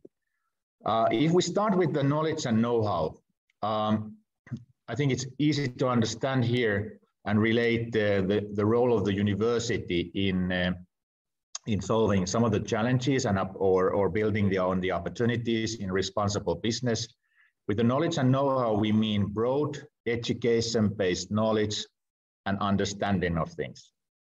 Uh, which is very useful also for, for companies and uh, obviously for public entities uh, where you can make sure that the, your decisions and your approaches are based on scientific knowledge.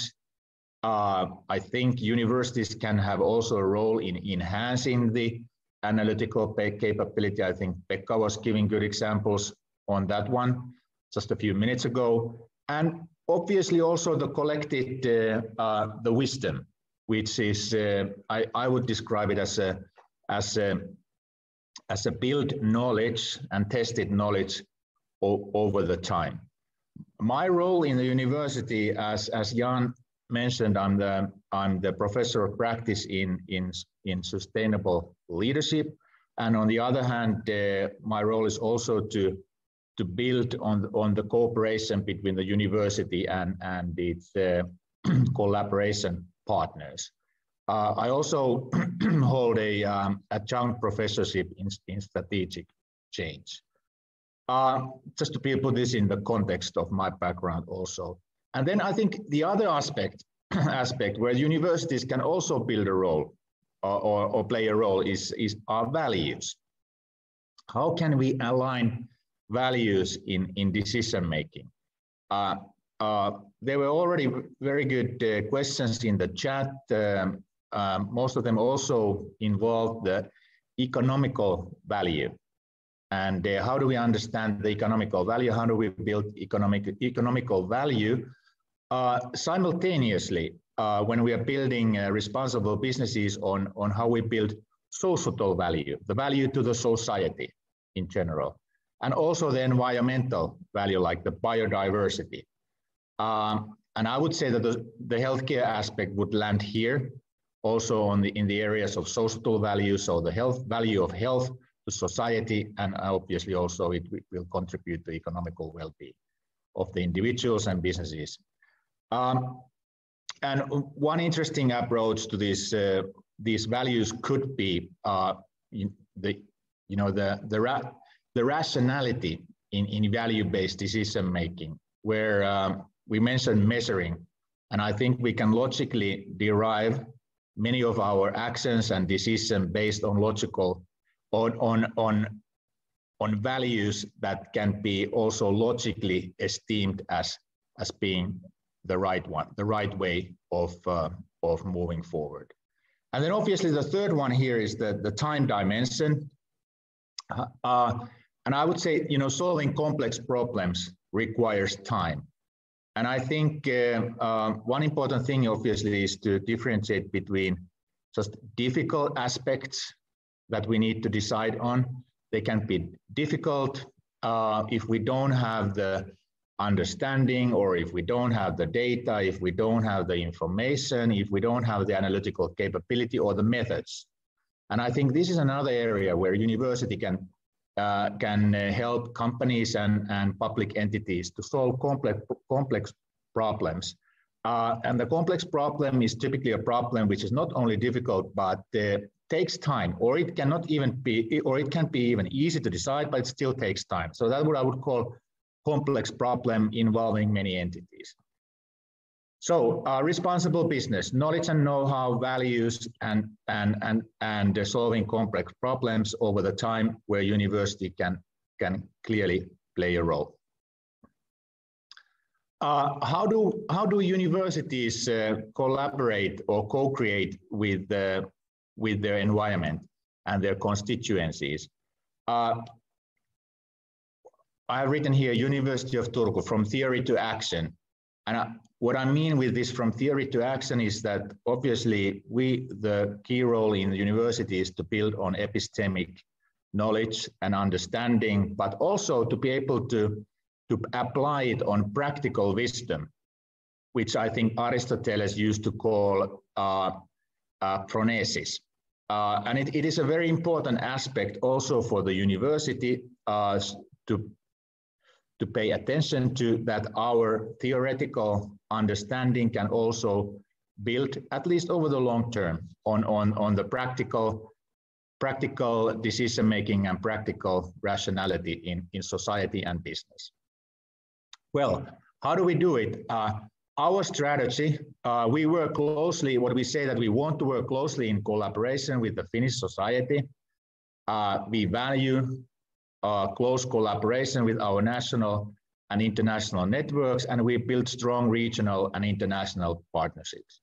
So I would say that the strategic intent is clearly there, and it, it will be supported by, by the university organization if, uh, if you as a, as a leader or manager in, in the business or public entity are interested in working together with the university on solving these issues or building on opportunities on, on, on sustainable business. Methods of collaboration, obviously research and innovation, where, um, where I, I think the, uh, the benefit would be scientifically tested information for your organization.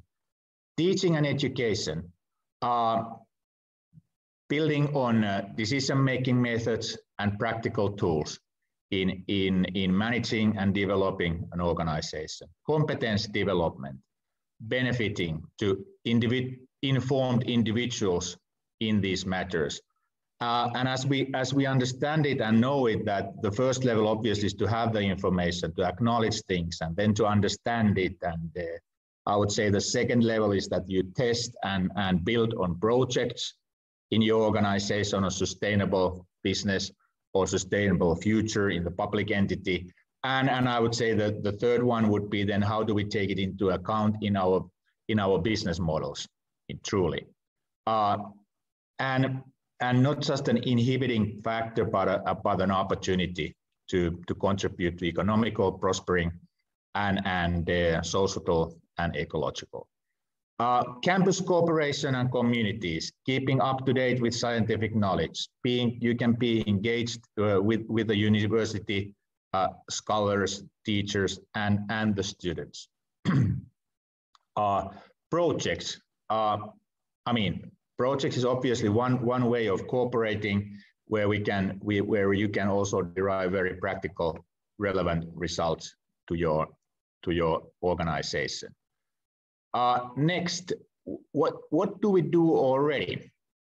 Uh, here are some just uh, some some examples, and I know that the, the list is not exhaustive. That uh, that there are obviously there could be other examples here on, on the right right hand column, but uh, I think these are at least relevant uh, for this discussion here today. So need for if you have a need for cooperation, if it's in the in, in, in, in the research and innovation area, uh, we contribute, it is a strategic focus area clearly. All, all faculties, when, when we did the, the analysis of the, what's going on in the university, we realized that more or less all faculties are working on, on the topic of sustainability. Obviously, the level of uh, activities in, uh, in this topic uh, varies and varies and, and uh, it doesn't have a, value in itself, but, uh, unless it contributes to the to the to the theoretical knowledge and, and building in, in, the, in the university. But it's clearly a topic. Uh, uh, I would say there's a, just a couple of examples. Uh, there's a program called Etairos. It's the ethical use of artificial intelligence. If you're interested, you can go on the website and have a look. Style, uh, which is a program which basically uh, develops the healthy way of living and how that can contribute to business or, or the well-being of, uh, of a public entity, for example, a city like Turku. AIGA, which is um, which is a which is a, a, project to develop the governance around artificial intelligence. Like Pekka, Pekka mentioned in his uh, on his presentation that uh, you know if we have proper governance uh, and which also gives room to development, uh, it will obviously we need governance to protect the individual, but it should not be such that it inhibits the development of sustainability in business or, or society. So this is a program that builds on uh, on uh, on on the governance on around the artificial intelligence. Just a few more sustainable shipbuilding together with Meyer Turku, KICAT uh, program, which is um, uh, a program on decision making around accelerated transition of sustainable circular economy.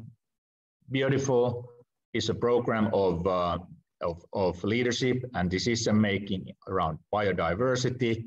Uh, KEKO, which is uh, uh, a program on teaching around sustainability, and also in our executive education, the sustainability takes place in executive MBA for example. Uh, we teach uh, more than 100 courses on sustainability at the moment. Uh, you can do a minor at the Turku Business School in, in sustainability and, and I mean, sustainable business in particular. Uh, we have the competence development around this currently, management training, entrepreneurship services, and the campus cooperation covers both alumni network and employer services.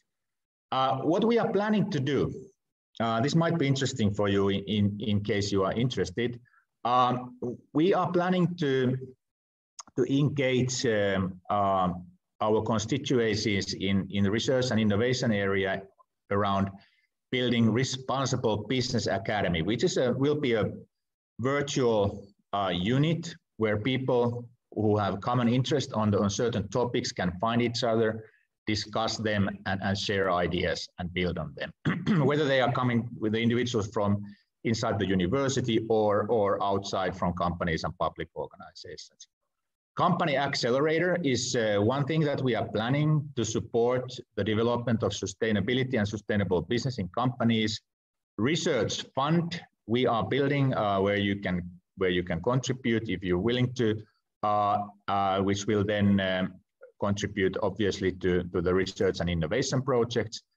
Uh, we will be in teaching and education. We will be, we are going to have, well, moving forward, uh, shared base courses to all faculties in the university available and, and specialized courses by faculty. Specialized management training, virtual micro credentials, you can also will, or you will be able to take uh, uh, virtually over the internet on, on sustainable business provided by the university and uh, obviously the campus cooperation with our alumni network and employer services will continue around this topic also. And uh, just to conclude with the, with the final slide here, uh, what, what are the channels and who to contact? Um, I mean, uh, from the organizational perspective, um, you know, if you're interested in research and innovation, there, are co-founded research programs, innovation services available. Uh, from the teaching and education perspective, uh, teaching cooperation, you, you can take part on our courses. We can, we can be teaching together on certain topics which are important for, for your organization. Uh, and uh, obviously the, the assignments that uh, we can work together with. and uh, like uh, like when people are finalizing their master's degrees, they, they do their thesis together with you. competence development, uh, management training, entrepreneurship services, and the alumni community is has been very active lately. Also, and here on the right-hand corner, you can find some some uh, examples of the organizational unit. Juha, who was presenting today, earlier comes from the Finland Futures Research Center, and uh, obviously all the faculties, you can find the key persons in, on, on the internet on, uh, on the university website. But Jan, I think I will, I will conclude here uh, today in case there are some questions or comments the audience would like to make. Thank you, Riku. Thank you. There seems to be many things actually that are ongoing within universities that are trying to help furthering the transition towards sustainability. Um, in, in, can you, could you describe in a, in a rather concrete way how a firm that is interested in responsible business could initiate cooperating uh, with a university? Yeah, okay. good question, Jan. I think um, you know what, what you can do if you are interested. You can go on on. I think obviously the e channel is one of them. You can go on the website and just the university website utu.fi and punch in responsible business, and and you will be landing on on on the on the pages where where the responsible responsible responsible business and sustainability is described. And there are all the contact information of, of the key individuals, obviously, uh, available. And uh, I mean, one way is, of course, uh, to approach directly uh, the individuals, for example, myself, uh, who have been presenting today on this on this webinar. But the contact information is basically on the on the university website. And there you can find very specialized skills around different topics from engineering to, to, to healthcare and, and business around the sustainability and sustainable business. Is there anything that you as a representative of the university would expect a company to have or to know or to possess if they were to if, if they were interested in such cooperation? Yeah, uh, I mean, that's a good point because obviously university is sometimes uh, perceived as a, as a theoretical, uh, very theoretical, maybe sometimes even difficult to approach, you know, unless you know what you are talking about and finding the exact right individual.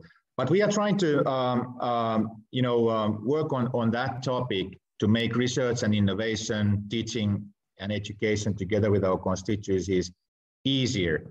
And I, I mean, it is just, I, I, know very well that there are companies who have, uh, if we take it in the scale of three, who have, who recognize the topic, you know, and it's enough that you recognize that this is a topic, maybe you are wondering, you know, uh, how, how can we benefit from this or how can we contribute to this? And uh, I mean, that's, uh, that's obviously the first stage and, and, and uh, uh, either you are interested in, in the economical side of uh, sustainability and sustainable business, or or societal side, or or or both of them, or combining the third element of ecological side of them, and how just just to understand these topics. Or maybe you are already working on a project that you realize that uh, we need to start building on this. Uh, we need to take it into account in our value chain somehow and you have already started some project or a, a project around this topic, uh, then you can approach us. Or I, I think we can also answer very industry specific questions, you know, what does this mean? What does sustainable business really mean for pharma? What does it mean for healthcare? Uh, what does it mean for retailing and, and, and, and other industries? And if you go to the website, you can also re- you will realize that there are also many companies already involved with the University of Turku around this topic. But uh, my answer to that, Jan, is that uh, uh, there's there no there's no specific requirement. As long as you are interested, and uh, I mean, feel free go to the website or contact, for example, myself directly, and I will help out and make sure that you will start talking to the right individual or the right entity in the university. You mentioned already basically the diversity that exists within responsible business and also i think about what it means and uh, i think in the very beginning of your presentation you showed three cornerstones of of responsible business values being one now i think it would be probably too optimistic to think that values are the same um, across societies or even within societies so how do we arrive at a common understanding of what actually responsible business is?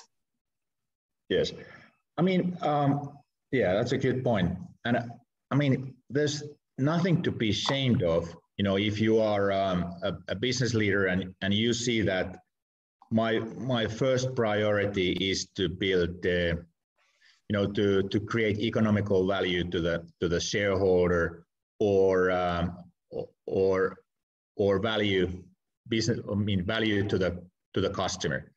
Um, but maybe you already uh, started thinking that maybe there's, uh, uh, for example, um, it might be beneficial for us to to take into account maybe from the customer perspective, maybe we can build a, a greater customer base if we include the societal value or environmental value in our, our thinking. I'll, I'll, give an example. I think maybe it is helpful to give an example I had one uh, very interesting uh, uh, discussions with one of the with one of the world's leading pharma organizations, and and we discussed that what does responsible business mean for us? Is it just that we we produce uh, pills, you know, uh, so that we don't we minimize the level of waste, or is it so that uh, okay, we think that in in pharma, I think we were discussing that maybe it's more. Maybe it's not just these no-brainer things, but uh, maybe it's a broader topic. You know, how do we build value to our our client? Like if we take a pharma organization and we take a healthcare district, for example, specialized healthcare, uh, secondary healthcare, uh, you know, you can you pharma business can um, build a lot of value if they if they uh, work together with their clients to understand, you know, how do we make the the the, the service more efficient, uh, to produce better value. Maybe we can uh, rationalize on, on, on the service processes. If uh, we talk to our, our healthcare client, like let's say secondary healthcare, you know, how our medication will make the, the service processes more simple. Uh, and uh, I mean, that could be one approach. And, and clearly, not, we, it doesn't have to be so that everybody is interested in all. I mean, maybe you can start start somewhere and, and start building on these other aspects of, uh, of sustainability.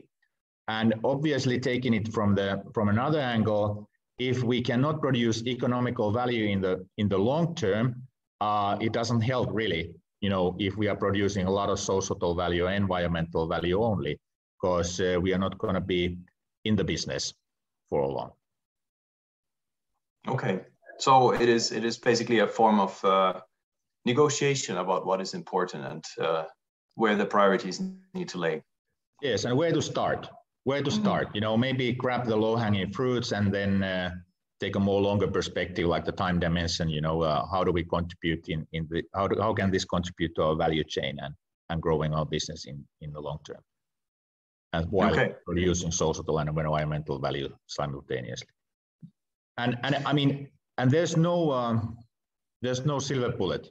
You know, you need to start somewhere, start working on it. Uh, I mean, in, in the English language, there's a, there's a good term. You know, either you can discover something that uh, you take the cover of a box, for example, you discover it and look into the box. Uh, and I, I would say that the answers usually are very seldom found like that. It's more about creation, you know, if we think about change. It's less about discovering things, but more about creation, being involved with the society, maybe talking to a university individuals. Maybe we can help you guys with some of the make, making some of the uh, shortcuts in, in, in developing your, your thinking around this. Creation, start somewhere, build together, maybe together with the university. Okay, here's a, a comment or um, maybe even a statement uh, from the audience. Counting the cost. Can econ economists calculate all costs related to a project?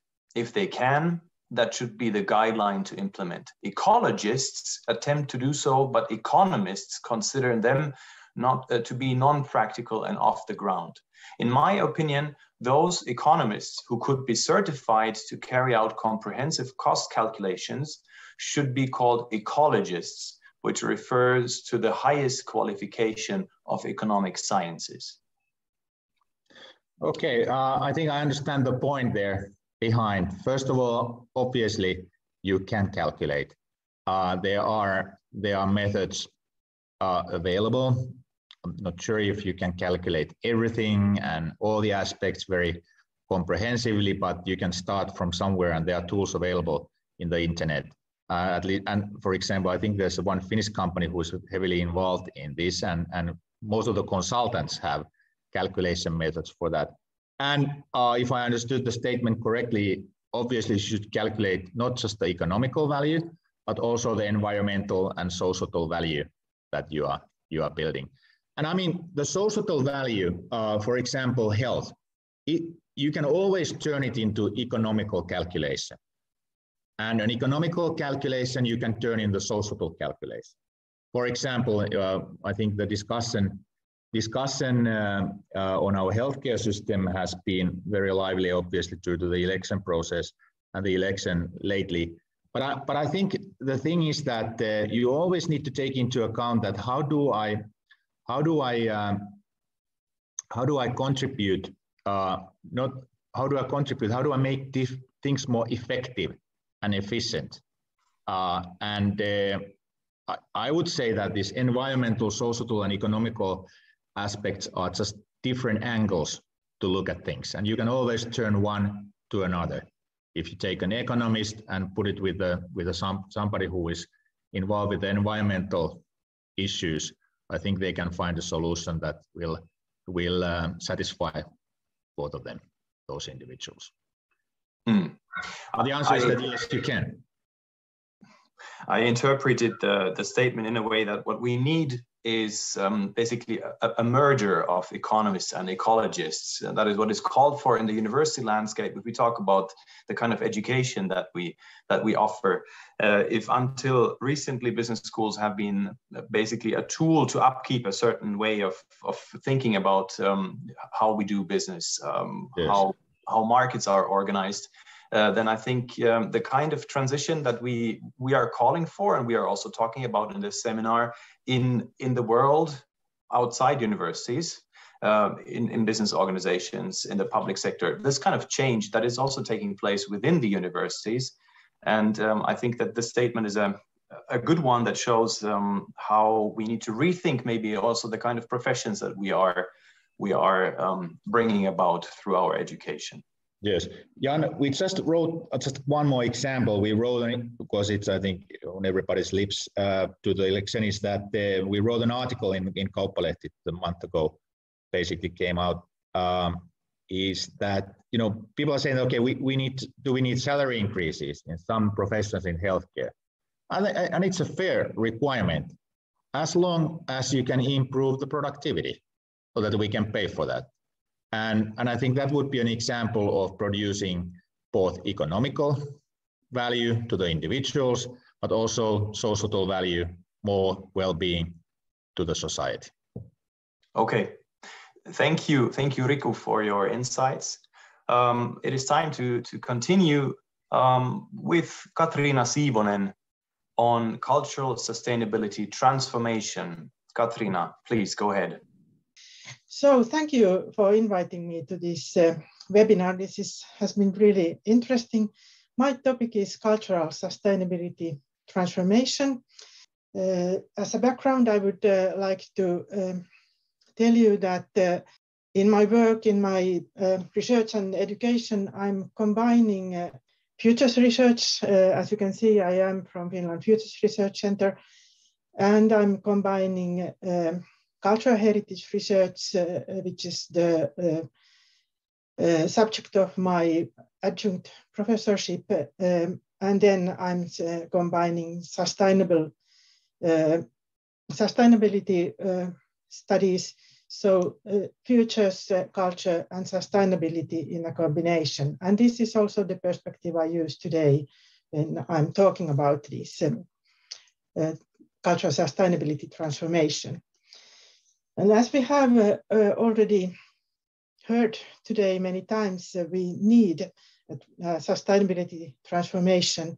And I start, even though I'm speaking about culture issues, I, I begin from these uh, kind of basic uh, uh, um, problems, ecological problems, which are decreasing the resilience of our living environment and destroying also prerequisites for well-being, both for human beings and other living beings. There has been already many decades ago a, notion about leverage points for systemic sustainability transformation. Um, these are these kind of uh, uh, points in the society where we could have a, a, it is possible to have a strong impact towards sustainability. Uh, and then there is also uh, a notion about the need to operate on the deepest levels of uh, these leverage points in order to reach the transformation. And thirdly, there is a notion, and this comes from this article, which I have as a reference, the Abson et al. 2017, uh, that policy interventions typically does not address the deep level uh, leverage points and those fails in their target uh, of uh, sustainability transformation, which is an interesting notion in, in, this kind of issue when we see sustainable development usually as this kind of policy uh, issue and uh, a collection of policy interventions. The deepest level of leverage points consists of worldviews, human nature relationships, um, and from them arising goals, actions, habits, and practices.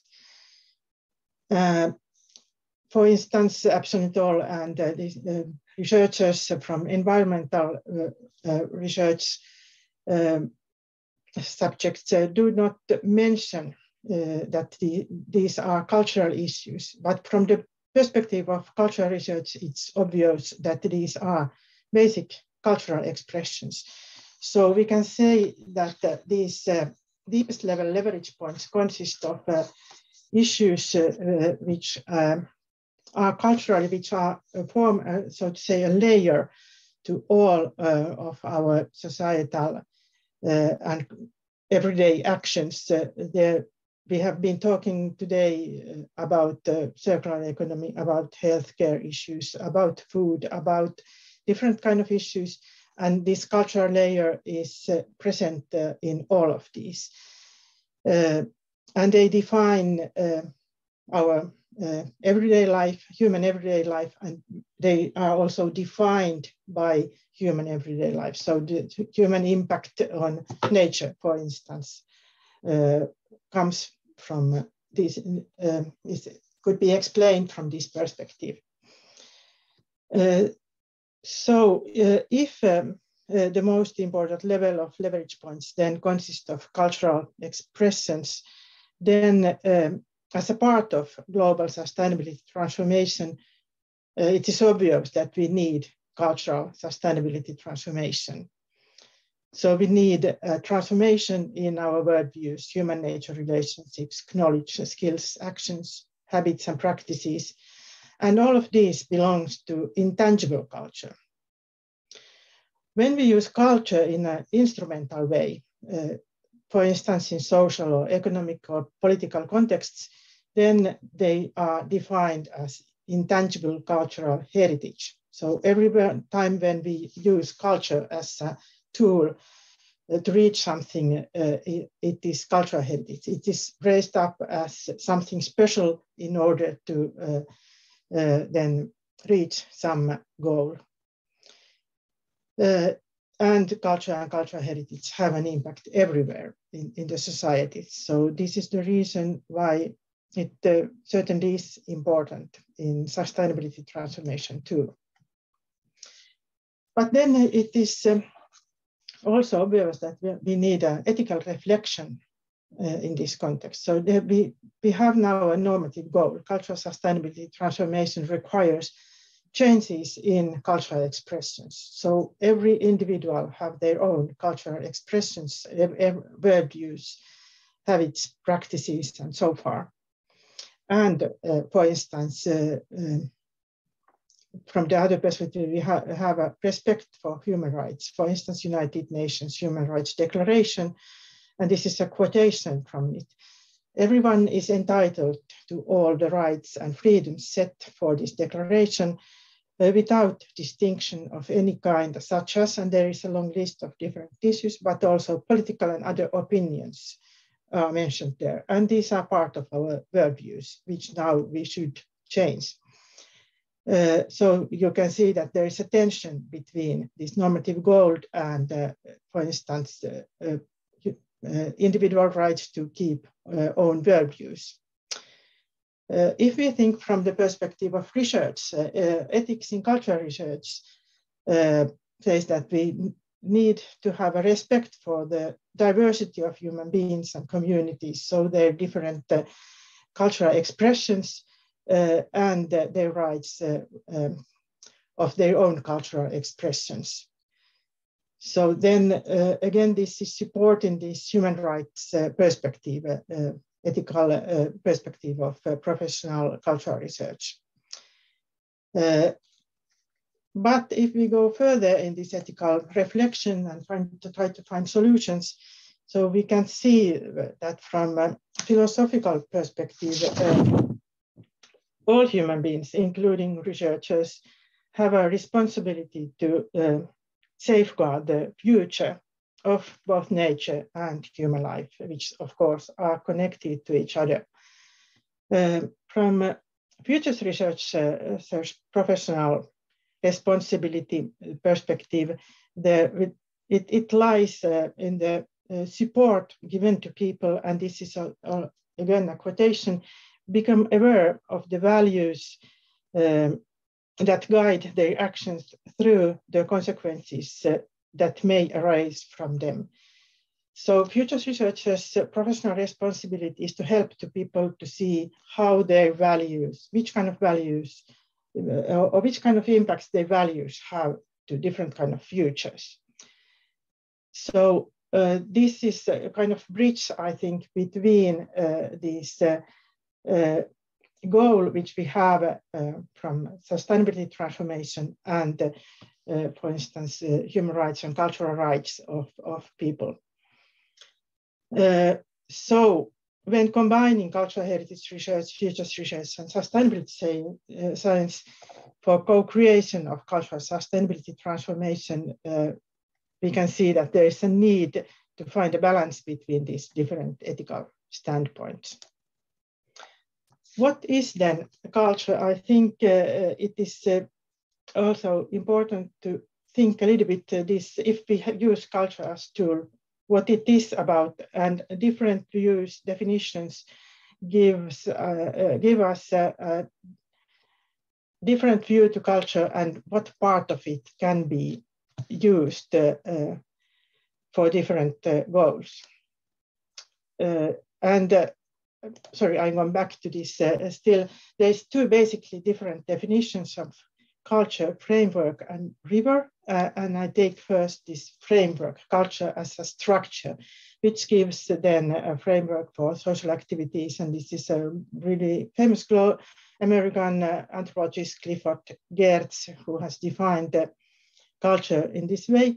Uh, so then if we think uh, from cultural sustainability perspective, uh, what, what is important in culture from this perspective, it is preservation and safeguarding of cultures in plural form and cultural elements belonging to these cultures. So uh, this is, for, for instance, then uh, cultural expressions and you, rights of people to their own cultural expressions. And this is uh, really important, for instance, from the perspective of cultural rights of indigenous people, which is a, a global discussion topic nowadays. This other uh, definition, group of definitions, uh, culture as a river, uh, see culture as a global social process uh, in which culture is con constantly renewed and co-created in interaction both between human beings and between human beings and the tangible and intangible environment. And this environment is both human made and nature. Uh, so uh, cultural sustainability, what is important uh, in culture from this perspective uh, is the safeguarding of the living process of culture and also the transformative power of culture. Because if culture is always changing, there is at least implicit transformative power always. But how to take this in use is then the question. And according to this view, I also see culture as a part of nature. What is then important uh, uh, if we use culture is uh, inclusion and participation of uh, all human beings. Uh, so the core, as I see, of cultural sustainability is the right of people to take part and have an impact on their own culture when we see culture as a framework and the right of people to take part and have an impact on the cultural change in their own cultural environment if we see culture as a river. And this is always happening together with other people. But then it is obvious that uh, this does not guarantee the direction of the cultural change to sustainability of any dimension, not to, to ecological sustainability, but not uh, either to uh, economic, social, or cultural sustainability because there is many different values. Uh, people have different values and different aims in their lives.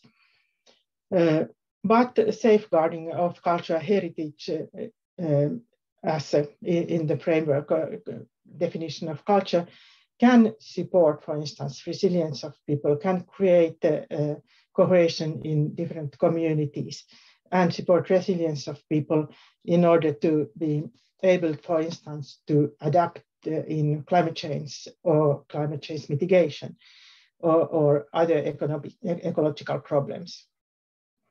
But this does not create the uh, uh, cultural sustainability transformation, uh, for instance, safeguarding of cultural heritage as such. But in spite of this, the, the possibility to take part and have an impact uh, uh, can be seen uh, as a condition of cultural sustainability transformation. Without participation, we do not have uh, any cultural sustain sustainability transformation. So then uh, I will give you uh, uh, now on this uh, last slide one possibility, one tool for cultural sustainability transformation, which I suggest could be used. Uh, and this is heritage futures. Uh, heritage futures which are based on intangible cultural heritage. There is also uh, other kind of definitions of uh, heritage futures, but uh, if it's based on intangible cultural heritage, so word use, uh, knowledge, skills, actions, habits, and practices, this heritage could be a tool which can be formed and used uh, as a means to co-direct cultural transformation towards more sustainable world in a participatory process. Uh, this kind of heritage futures requires disruptive co-creation of selected cultural elements and care of their sustainable impacts on nature and human beings. Not so much uh, uh the heritage as such, but their impacts on nature and human beings. And also care of the transformative power of culture uh, is part of this kind of heritage futures. So heritage futures are uh, intentionally co-created human nature relationships, including new types of meanings and actions which produce sustainable development. So to give uh, people a possibility to co-create new kind of meanings to different kind of actions could then help them to change their actions towards a more sustainable ones. And this could be possible uh, in everyday life, but also in economic, political, administrational uh, spheres of, of society, because culture, uh, so to say, forms this kind of layer to all kind of actions uh, in, in the society.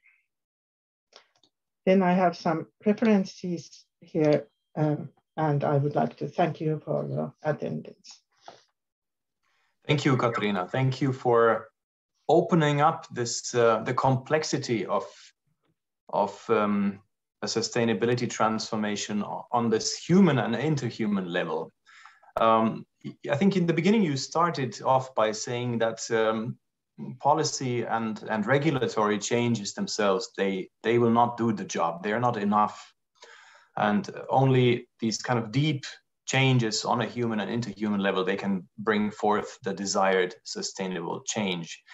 And then you, you pointed out uh, something that struck me, uh, an, a very crucial tension that you see there, which is um, that if we want to achieve the kind of change that we are all talking about now, then uh, we need to change our cultural expressions. At the same time, however, you show that, or you said that uh, everybody has the right to express themselves in, in a certain way. Um, so I'm, I'm now wondering how do these, how can we make these two things fit together?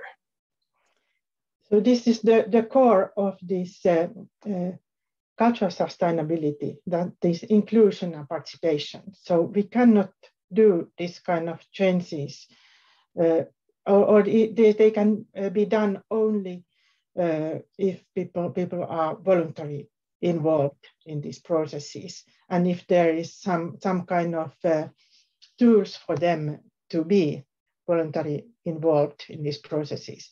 And then uh, uh, interaction, discussion, co-creation of new kind of uh, uh, new kinds of uh, values, new new kinds of practices together with other people. I think this is the only um, solution, and there is always this tension, so so to say, baked in these processes. So uh, you must always balance with these different uh, ethical perspectives, ethical issues. Uh, I would not say that this is the only uh, way. Political uh, interventions has all, always, of course, a role, but I, I, think the, we, are, we need both of these. So these political actions do not go deep enough or, or, they are not successful if we do not combine it with this kind of cultural sustainability transformation. This is how I understand this. Indeed, and that is something that we can see, we can witness nowadays across the globe in areas or parts of the world where uh, trust in in government and states is is low. Um, that's I think where people do not feel very lenient to following uh, the recommendations or the regulations or guidelines set by by authorities. Um, I'm now wondering, uh, you say that uh, participation, so a, a, process that includes everyone is needed, but, but doesn't, doesn't that process in itself actually also aim at people then voluntarily changing their cultural expressions? Yeah, that that is the core of this issue. We cannot uh, uh, tell anyone to change their, their opinions. So, uh, but the as we have heard today uh, in this discussion, we have actually in our society uh, quite many people in different task, uh, tasks in uh, the society who would like to find solutions uh, towards a more sustainable world. So to begin with these people uh, and on voluntary basis and to find uh, uh, ways how they can uh, change their ideas. So I think we, are now in this kind of um, really heavy transition period globally. And there is, in this kind of periods, there is always tensions and different kind of values which are uh, colliding with each other uh, and tensions. So then uh, to work with um, those who voluntarily would like to do this and would like to find uh, better solutions. Uh, for instance, uh, even though if you um, think positively about uh, sustainability transformation, uh, and you might feel that you, your human nature is really strong, uh, it might not help you to connect uh, overconsumption to human rights relationships. So to help uh, those people who think positively about sustainability transformation to find these kind of uh, uh, combinations uh, uh, or relationships between consumption and their own human nature relationships what kind of issues they to understand what all kind of issues could be included in human nature uh, relationships so so i think there is lots to do uh, with those people also who have this kind of positive mindset and then they uh, when this process goes further they could then we could ha have more and more people who find this important. Uh, partly, it might also become this kind of uh, tacit, new kind of tacit knowledge habits which we do notice, but we are already thinking differently.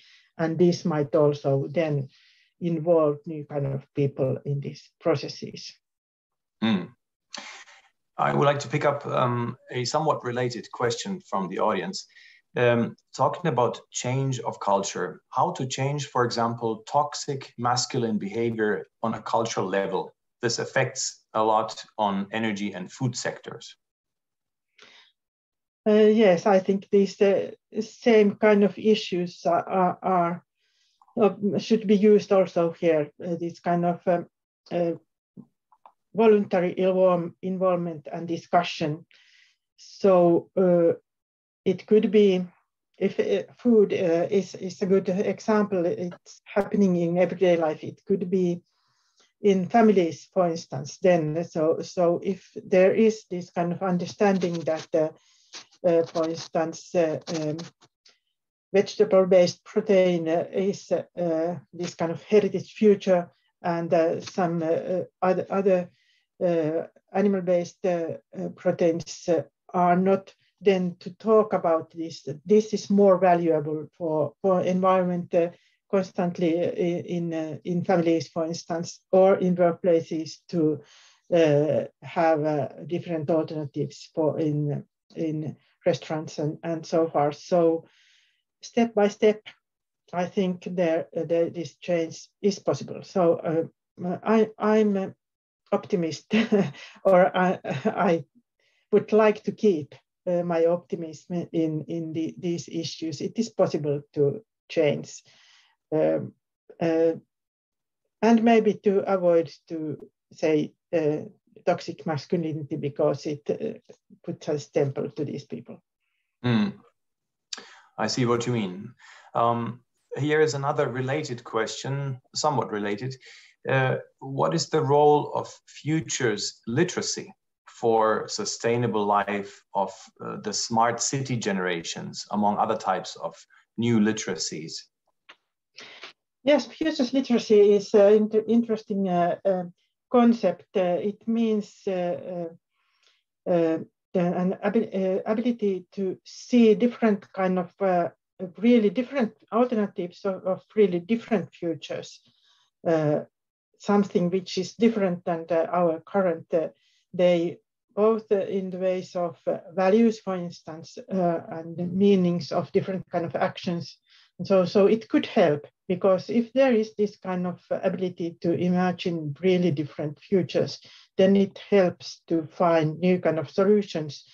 And it could uh, then fasten, for instance, this uh, uh, cultural changing process towards sustainability. Okay, uh, thank you, thank you, Katriina. Um, those were the questions raised from from the audience so far. Thanks for uh, again for opening up a, a topic um, on, I think, on a level that um, we maybe haven't talked about so much today, but which is definitely important.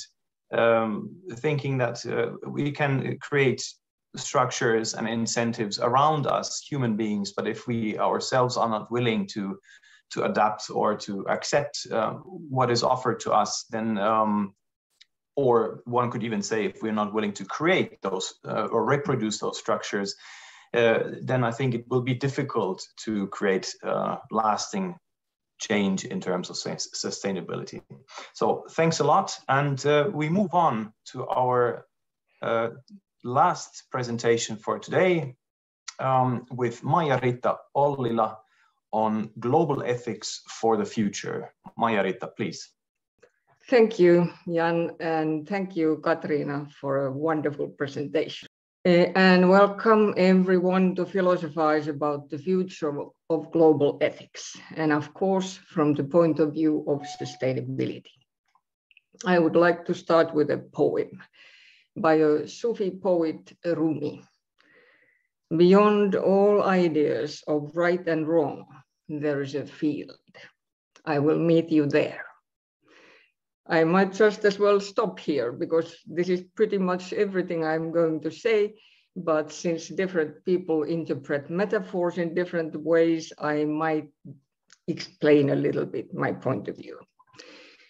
Uh, I'm going to claim that we need shared core values to solve global wicked problems but not to destroy uh, the cultural richness uh, and diversity that we just heard about.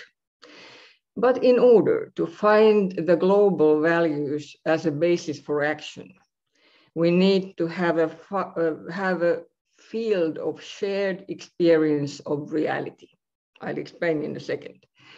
And next, uh, our ethics must evolve it has evolved thus far, but it must evolve further. And we need a fair dialogue on global values.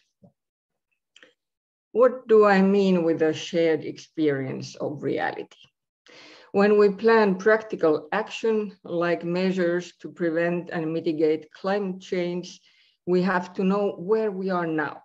That's the empirical premise of our deduction.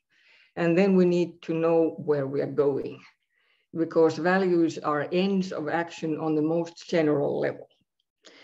Uh, let us think about something that the former US President Donald Trump used to say. Climate changes and then it changes back. If this is our grasp of reality, the facts that reflect the reality, then what are the values that we're heading for? I, I guess there is no end to reach if we think that climate changes independently of human beings. Or take another example, uh, whether to get vaccinated against COVID-19 or not. We have realized that people uh, rely on different sources of information when they want to get vaccinated and when they don't. Again, our grasp of the current reality pretty much uh, affects the values that we entertain. And to further point out why our grasp of reality is important, we might uh, remind ourselves of something that uh, Thomas M. Jones uh, coined to the discussion of moral philosophy. Uh, why is it that some people think that abortion is the most important uh, discussion in moral philosophy? And why others think that climate change or loss of bio biodiversity might be the most important things? Uh, Jones claim that there are six uh, determinants of the importance of a moral issue in an individual's thought the significance of the consequences, the social consensus, whether others think the same, the probability of the consequences uh, taking place, the temporal immediacy, is it temporally close to us or distant in the future, the proximity of the issue to the decision making, how close it's to my personal life, and the concentration of effects does it affect many people or only a few? So uh, uh, are you still with me? I hope that I made the point why uh, facts matter. Uh, values are not logically deduced from facts, but they sort of supervene, as moral philosophers say. They rest on the facts. uh, what about ethics then? Very often we use ethics as something that is backward looking. Something bad has happened and then we judge it. But uh, talking about sustainability, we need orientation towards the future. And ethics itself needs to evolve. Fortunately, it already has. We can imagine that uh, in the beginning of moral thought in humans, uh, other non-human animals also have sort of rudimentary morality. But uh, from the human point of view, ethics was applied to one's own tribe. Then uh, all of a sudden to all other people outside one's own tribe. And then during the last century, especially, uh, sentient animals got the status of moral subjects. And the latest discovery was that islands, trees, and even Mother Nature are included in the realm of morality. But uh, also the purpose of morality has changed. We used to say that uh, morality deals with human well-being in an ultimate way. And now we know that uh, there is a precondition for this well-being, and it's the well-being of the entire biosphere. And we might also think that the entire biosphere has intrinsic value in itself. Or we used to say that the purpose of morality is to alleviate the human predicament. And now we know that all living beings are subjects of morality. But talking about the field, ethics has been and still is a battlefield. Not everybody agrees. Uh, we can't imagine every, everyone agreeing on our own goals. Uh, Jan remarked that there is a certain tension when talking about cultural values and sustainability values.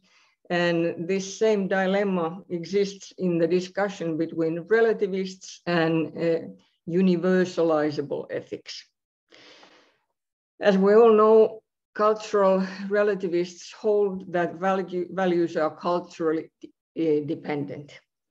There are differences in uh, different cultures at different times, and that proves that values are and or always will be relativistic. Not so fast. Uh, relativism has many uh, logical and other problems. I can't go into them today, but uh, uh I'm sure that there is a case for moral objectivists as well. But those who are relativists, uh, tend to think that global ethics has been a Western project with all these human rights, etc. And isn't that a form of neo-colonialism? You may come from an ancient culture uh, whose model, uh, moral ideals might be based on Bhagavad Gita or uh, for Confucian taught in China. And then you feel that, don't you come here with your colonialistic uh, uh, value uh, sets because we have our own. If this is the experience, there possibly can't be agreement on global core values. And one more field that shows the disc discrepancy of values is social media. It seems to be a minefield in itself. You might say something that will, will create uh, disapproval uh, may hurt your life in many ways. And one of those issues is the mm, difference between conservative and liberal values. The moral psychologist Jonathan Haidt wrote uh, the influential book, The Righteous Mind, Why Good People Are Divided by Politics and Religion. And he found out that there was a set of six foundational value sets care versus harm, fairness versus cheating, loyalty versus betrayal, authority versus subversion, sanctity versus declaration, and liberty versus oppression. And, and there was a stark difference. Here we have uh, uh, an exposition of the fact that both liberals and conservatives tend to have the same values, but to a different degree. And if you want to con um, convince somebody of your values, you realize that telling the other person to change her values is not a good strategy. Uh, a much better strategy would uh, to provide information, uh, a new view of the reality that might affect in such a way that the other person sees things from a different per perspective and is willing to maybe negotiate about values. I mentioned that the global ethics uh, project has been on uh, the basis of Western ethics. And when Hans uh, Küng created the set of global ethic in 1989, he remarked that it's not a new invention, but only a new discovery of common principles which are as old as humankind. And we all know that golden rule is such an ancient principle. principle. And later on, we have emphasized human rights. Aren't these adequate uh, as the basis of global ethics? Uh, previously, I stated that ethics should evolve. And this means that a golden rule and human rights were a wonderful starting point. And now there is a need to move further. We human beings gave ourselves the human rights, and that was great. But what next? Should we take other living beings into account in the same way? Well, this is new ethics it has not existed before, not in those cultures that we know about. And that reminds me of the parable in the Bible. Uh, there is no point in putting new wine into old wineskins for fear that the skins will be burst by the new wine. And what's worse, uh, no man having had old wine has any desire for new for he says the old is better. And that may be a little problem related to our cultural heritage. It's very valuable to us. But what if we needed to move, move further? Max Planck talk, talk, talked about uh, uh, the progress of science. And he thought that it's not very easy to change one's paradigm about values, uh, about science.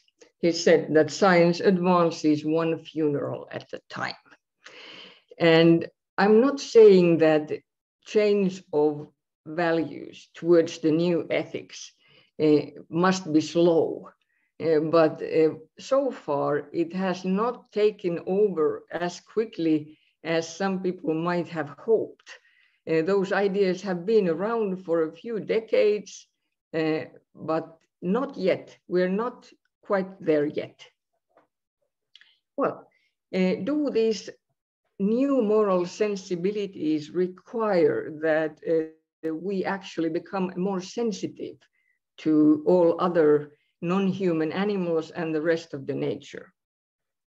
Not necessarily we can develop this heightened sensitivity to the intrinsic value of living beings, or we can simply realize the fact that we are dependent on the rest of the nature.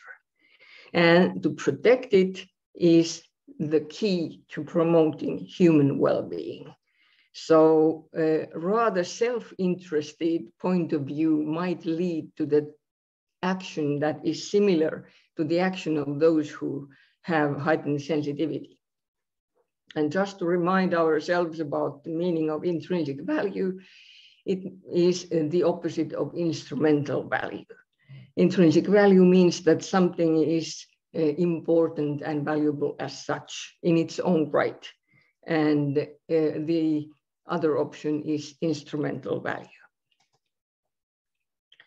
Well, uh, so far I've claimed that we need an experience of reality that we can share with each other to find the core values on which we can base our actions. But uh, the last decades uh, have been about discussions that prove it impossible for us all to experience reality from the same point of view. But could there be an intersection of our different experiences of reality? I believe so, on a very basic level. Uh, Andrew M. Bailey um, talks about uh, the experience we have about personhood. Uh, it feels that I'm something different from my body, the animal in me, as Bailey says. But then Bailey asks, consider a few ways in which someone might harm your animal. The human animal you see when you look in the mirror, beating up your animal, depriving your animal of oxygen, or even killing it. Were someone to do one of these things to your animal, would you, the person, be harmed?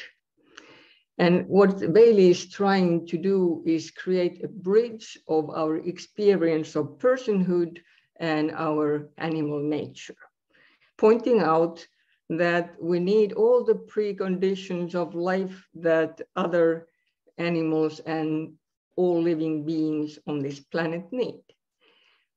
And as we recall, ethics has been based on personhood all the time it has been about us as uh, maybe the kind of persons that Immanuel Kant talked about. But he also forbid suicide because when somebody kills the human being, the personhood is lost in the same way. And that's what Bailey is also saying. So I think that on a very basic level, we all share an experience uh, that we want to cherish, living uh, as a human body and person on this planet. So I, I have claimed that we do share interests with the rest of the nature. And our interests are intertwined with the interests of other life forms on the planet. And the interest we have is the interest to live. So I hope that I have pointed out that we can share the field, but how can we meet there? The dialogue on values uh, needs to be with fair rules. Is it possible? It seems to me that many people have pretty much lost their hope these days. More than at any other time in history, mankind faces a crossroads one path leads to despair and other hopelessness, the other to total extinction. Let us pray we have the wisdom to choose correctly, says Woody Allen. Not, uh, not quite my style of argument.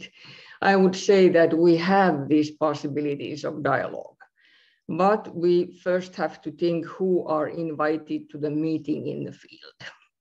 Well, these guys definitely not we are the uh, we the people have to decide not only for other living beings but for future generations as well but it's important that when we talk about nations globe wide everyone has access and uh, there will be a level playing field for all discussions justice is something that inspires every person everywhere in the world. And we remember that these kind of ideals were alive even during the French Revolution. Liberté, égalité, and fraternité. What we have forgotten is that there was an auxiliary, auxiliary word, ou la mort.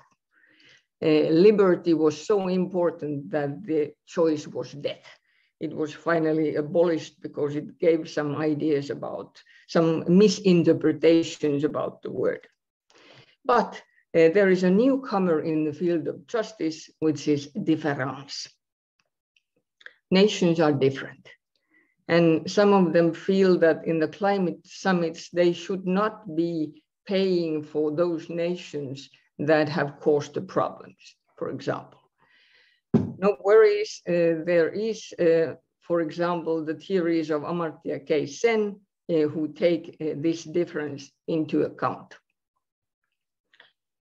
Uh, now I've used too much time, so I won't go deeper into the uh, ways of having this dialogue. We all know about uh, Habermas's theory of ideal speech uh, situation, the postulate of openness, the postulate of freedom of speech, the postulate of authenticity, and postulate of reciprocity.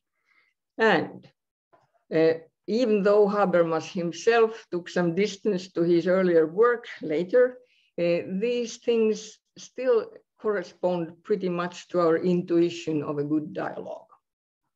It can be done. But we face this little dilemma, this little challenge. The uh, ground of all this dialogue is trust.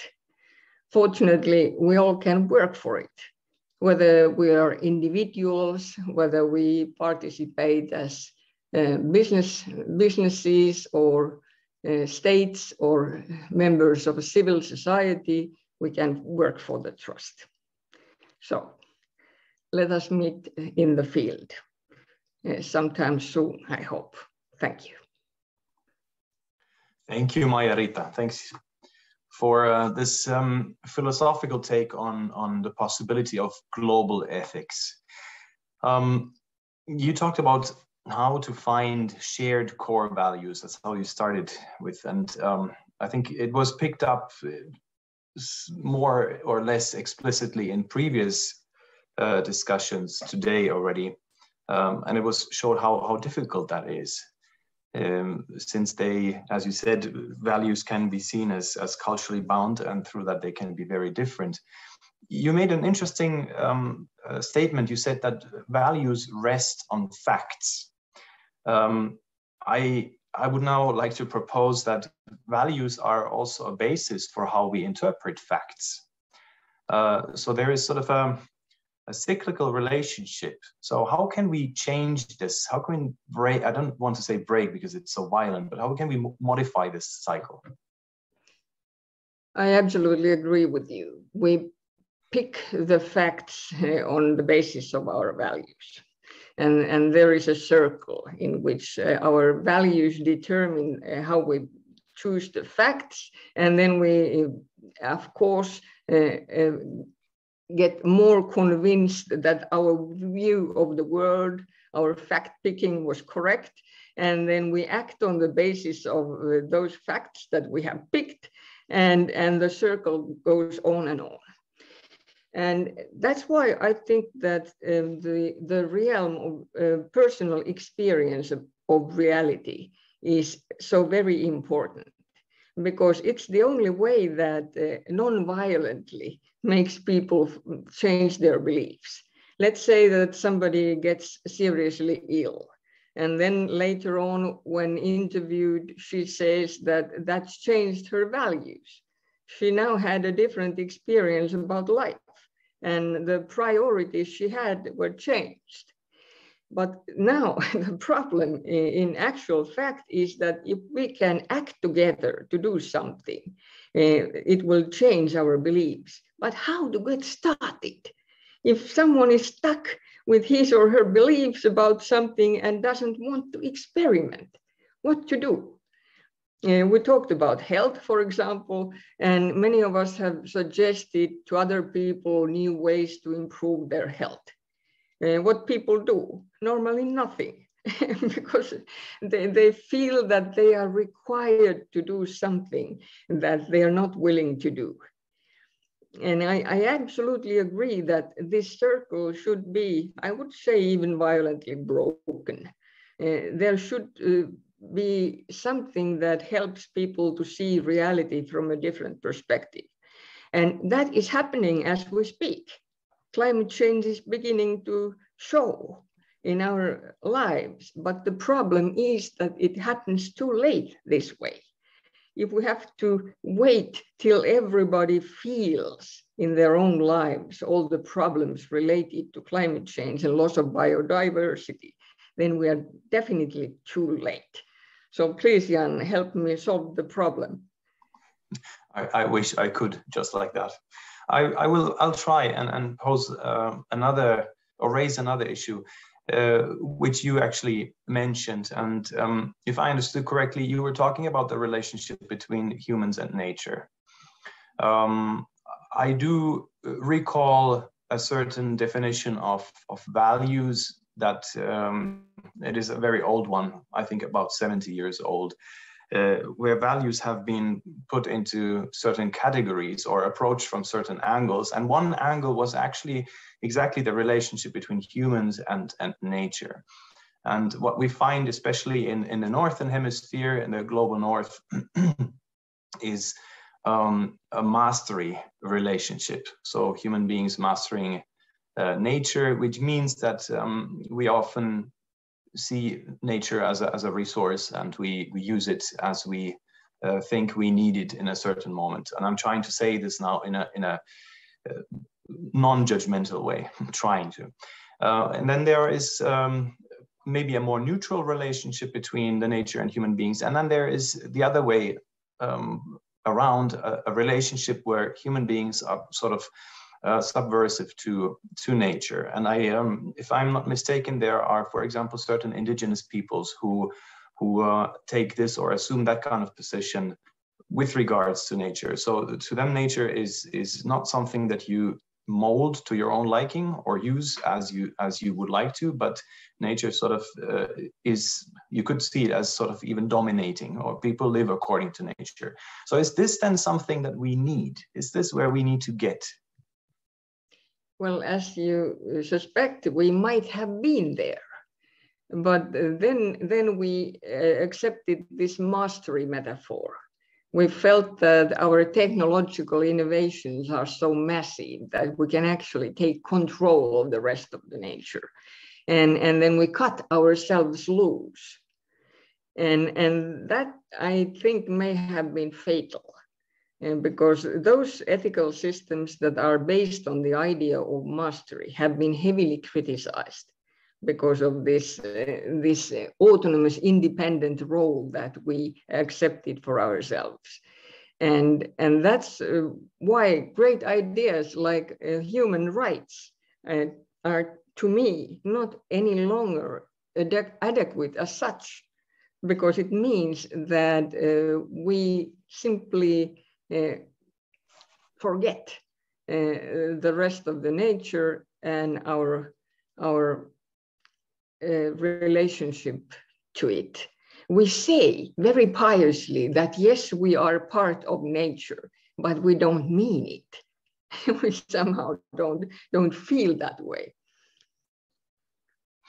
Thank you. Um, I would like to pose as the last question, a question that was raised very early on uh, by somebody in the audience.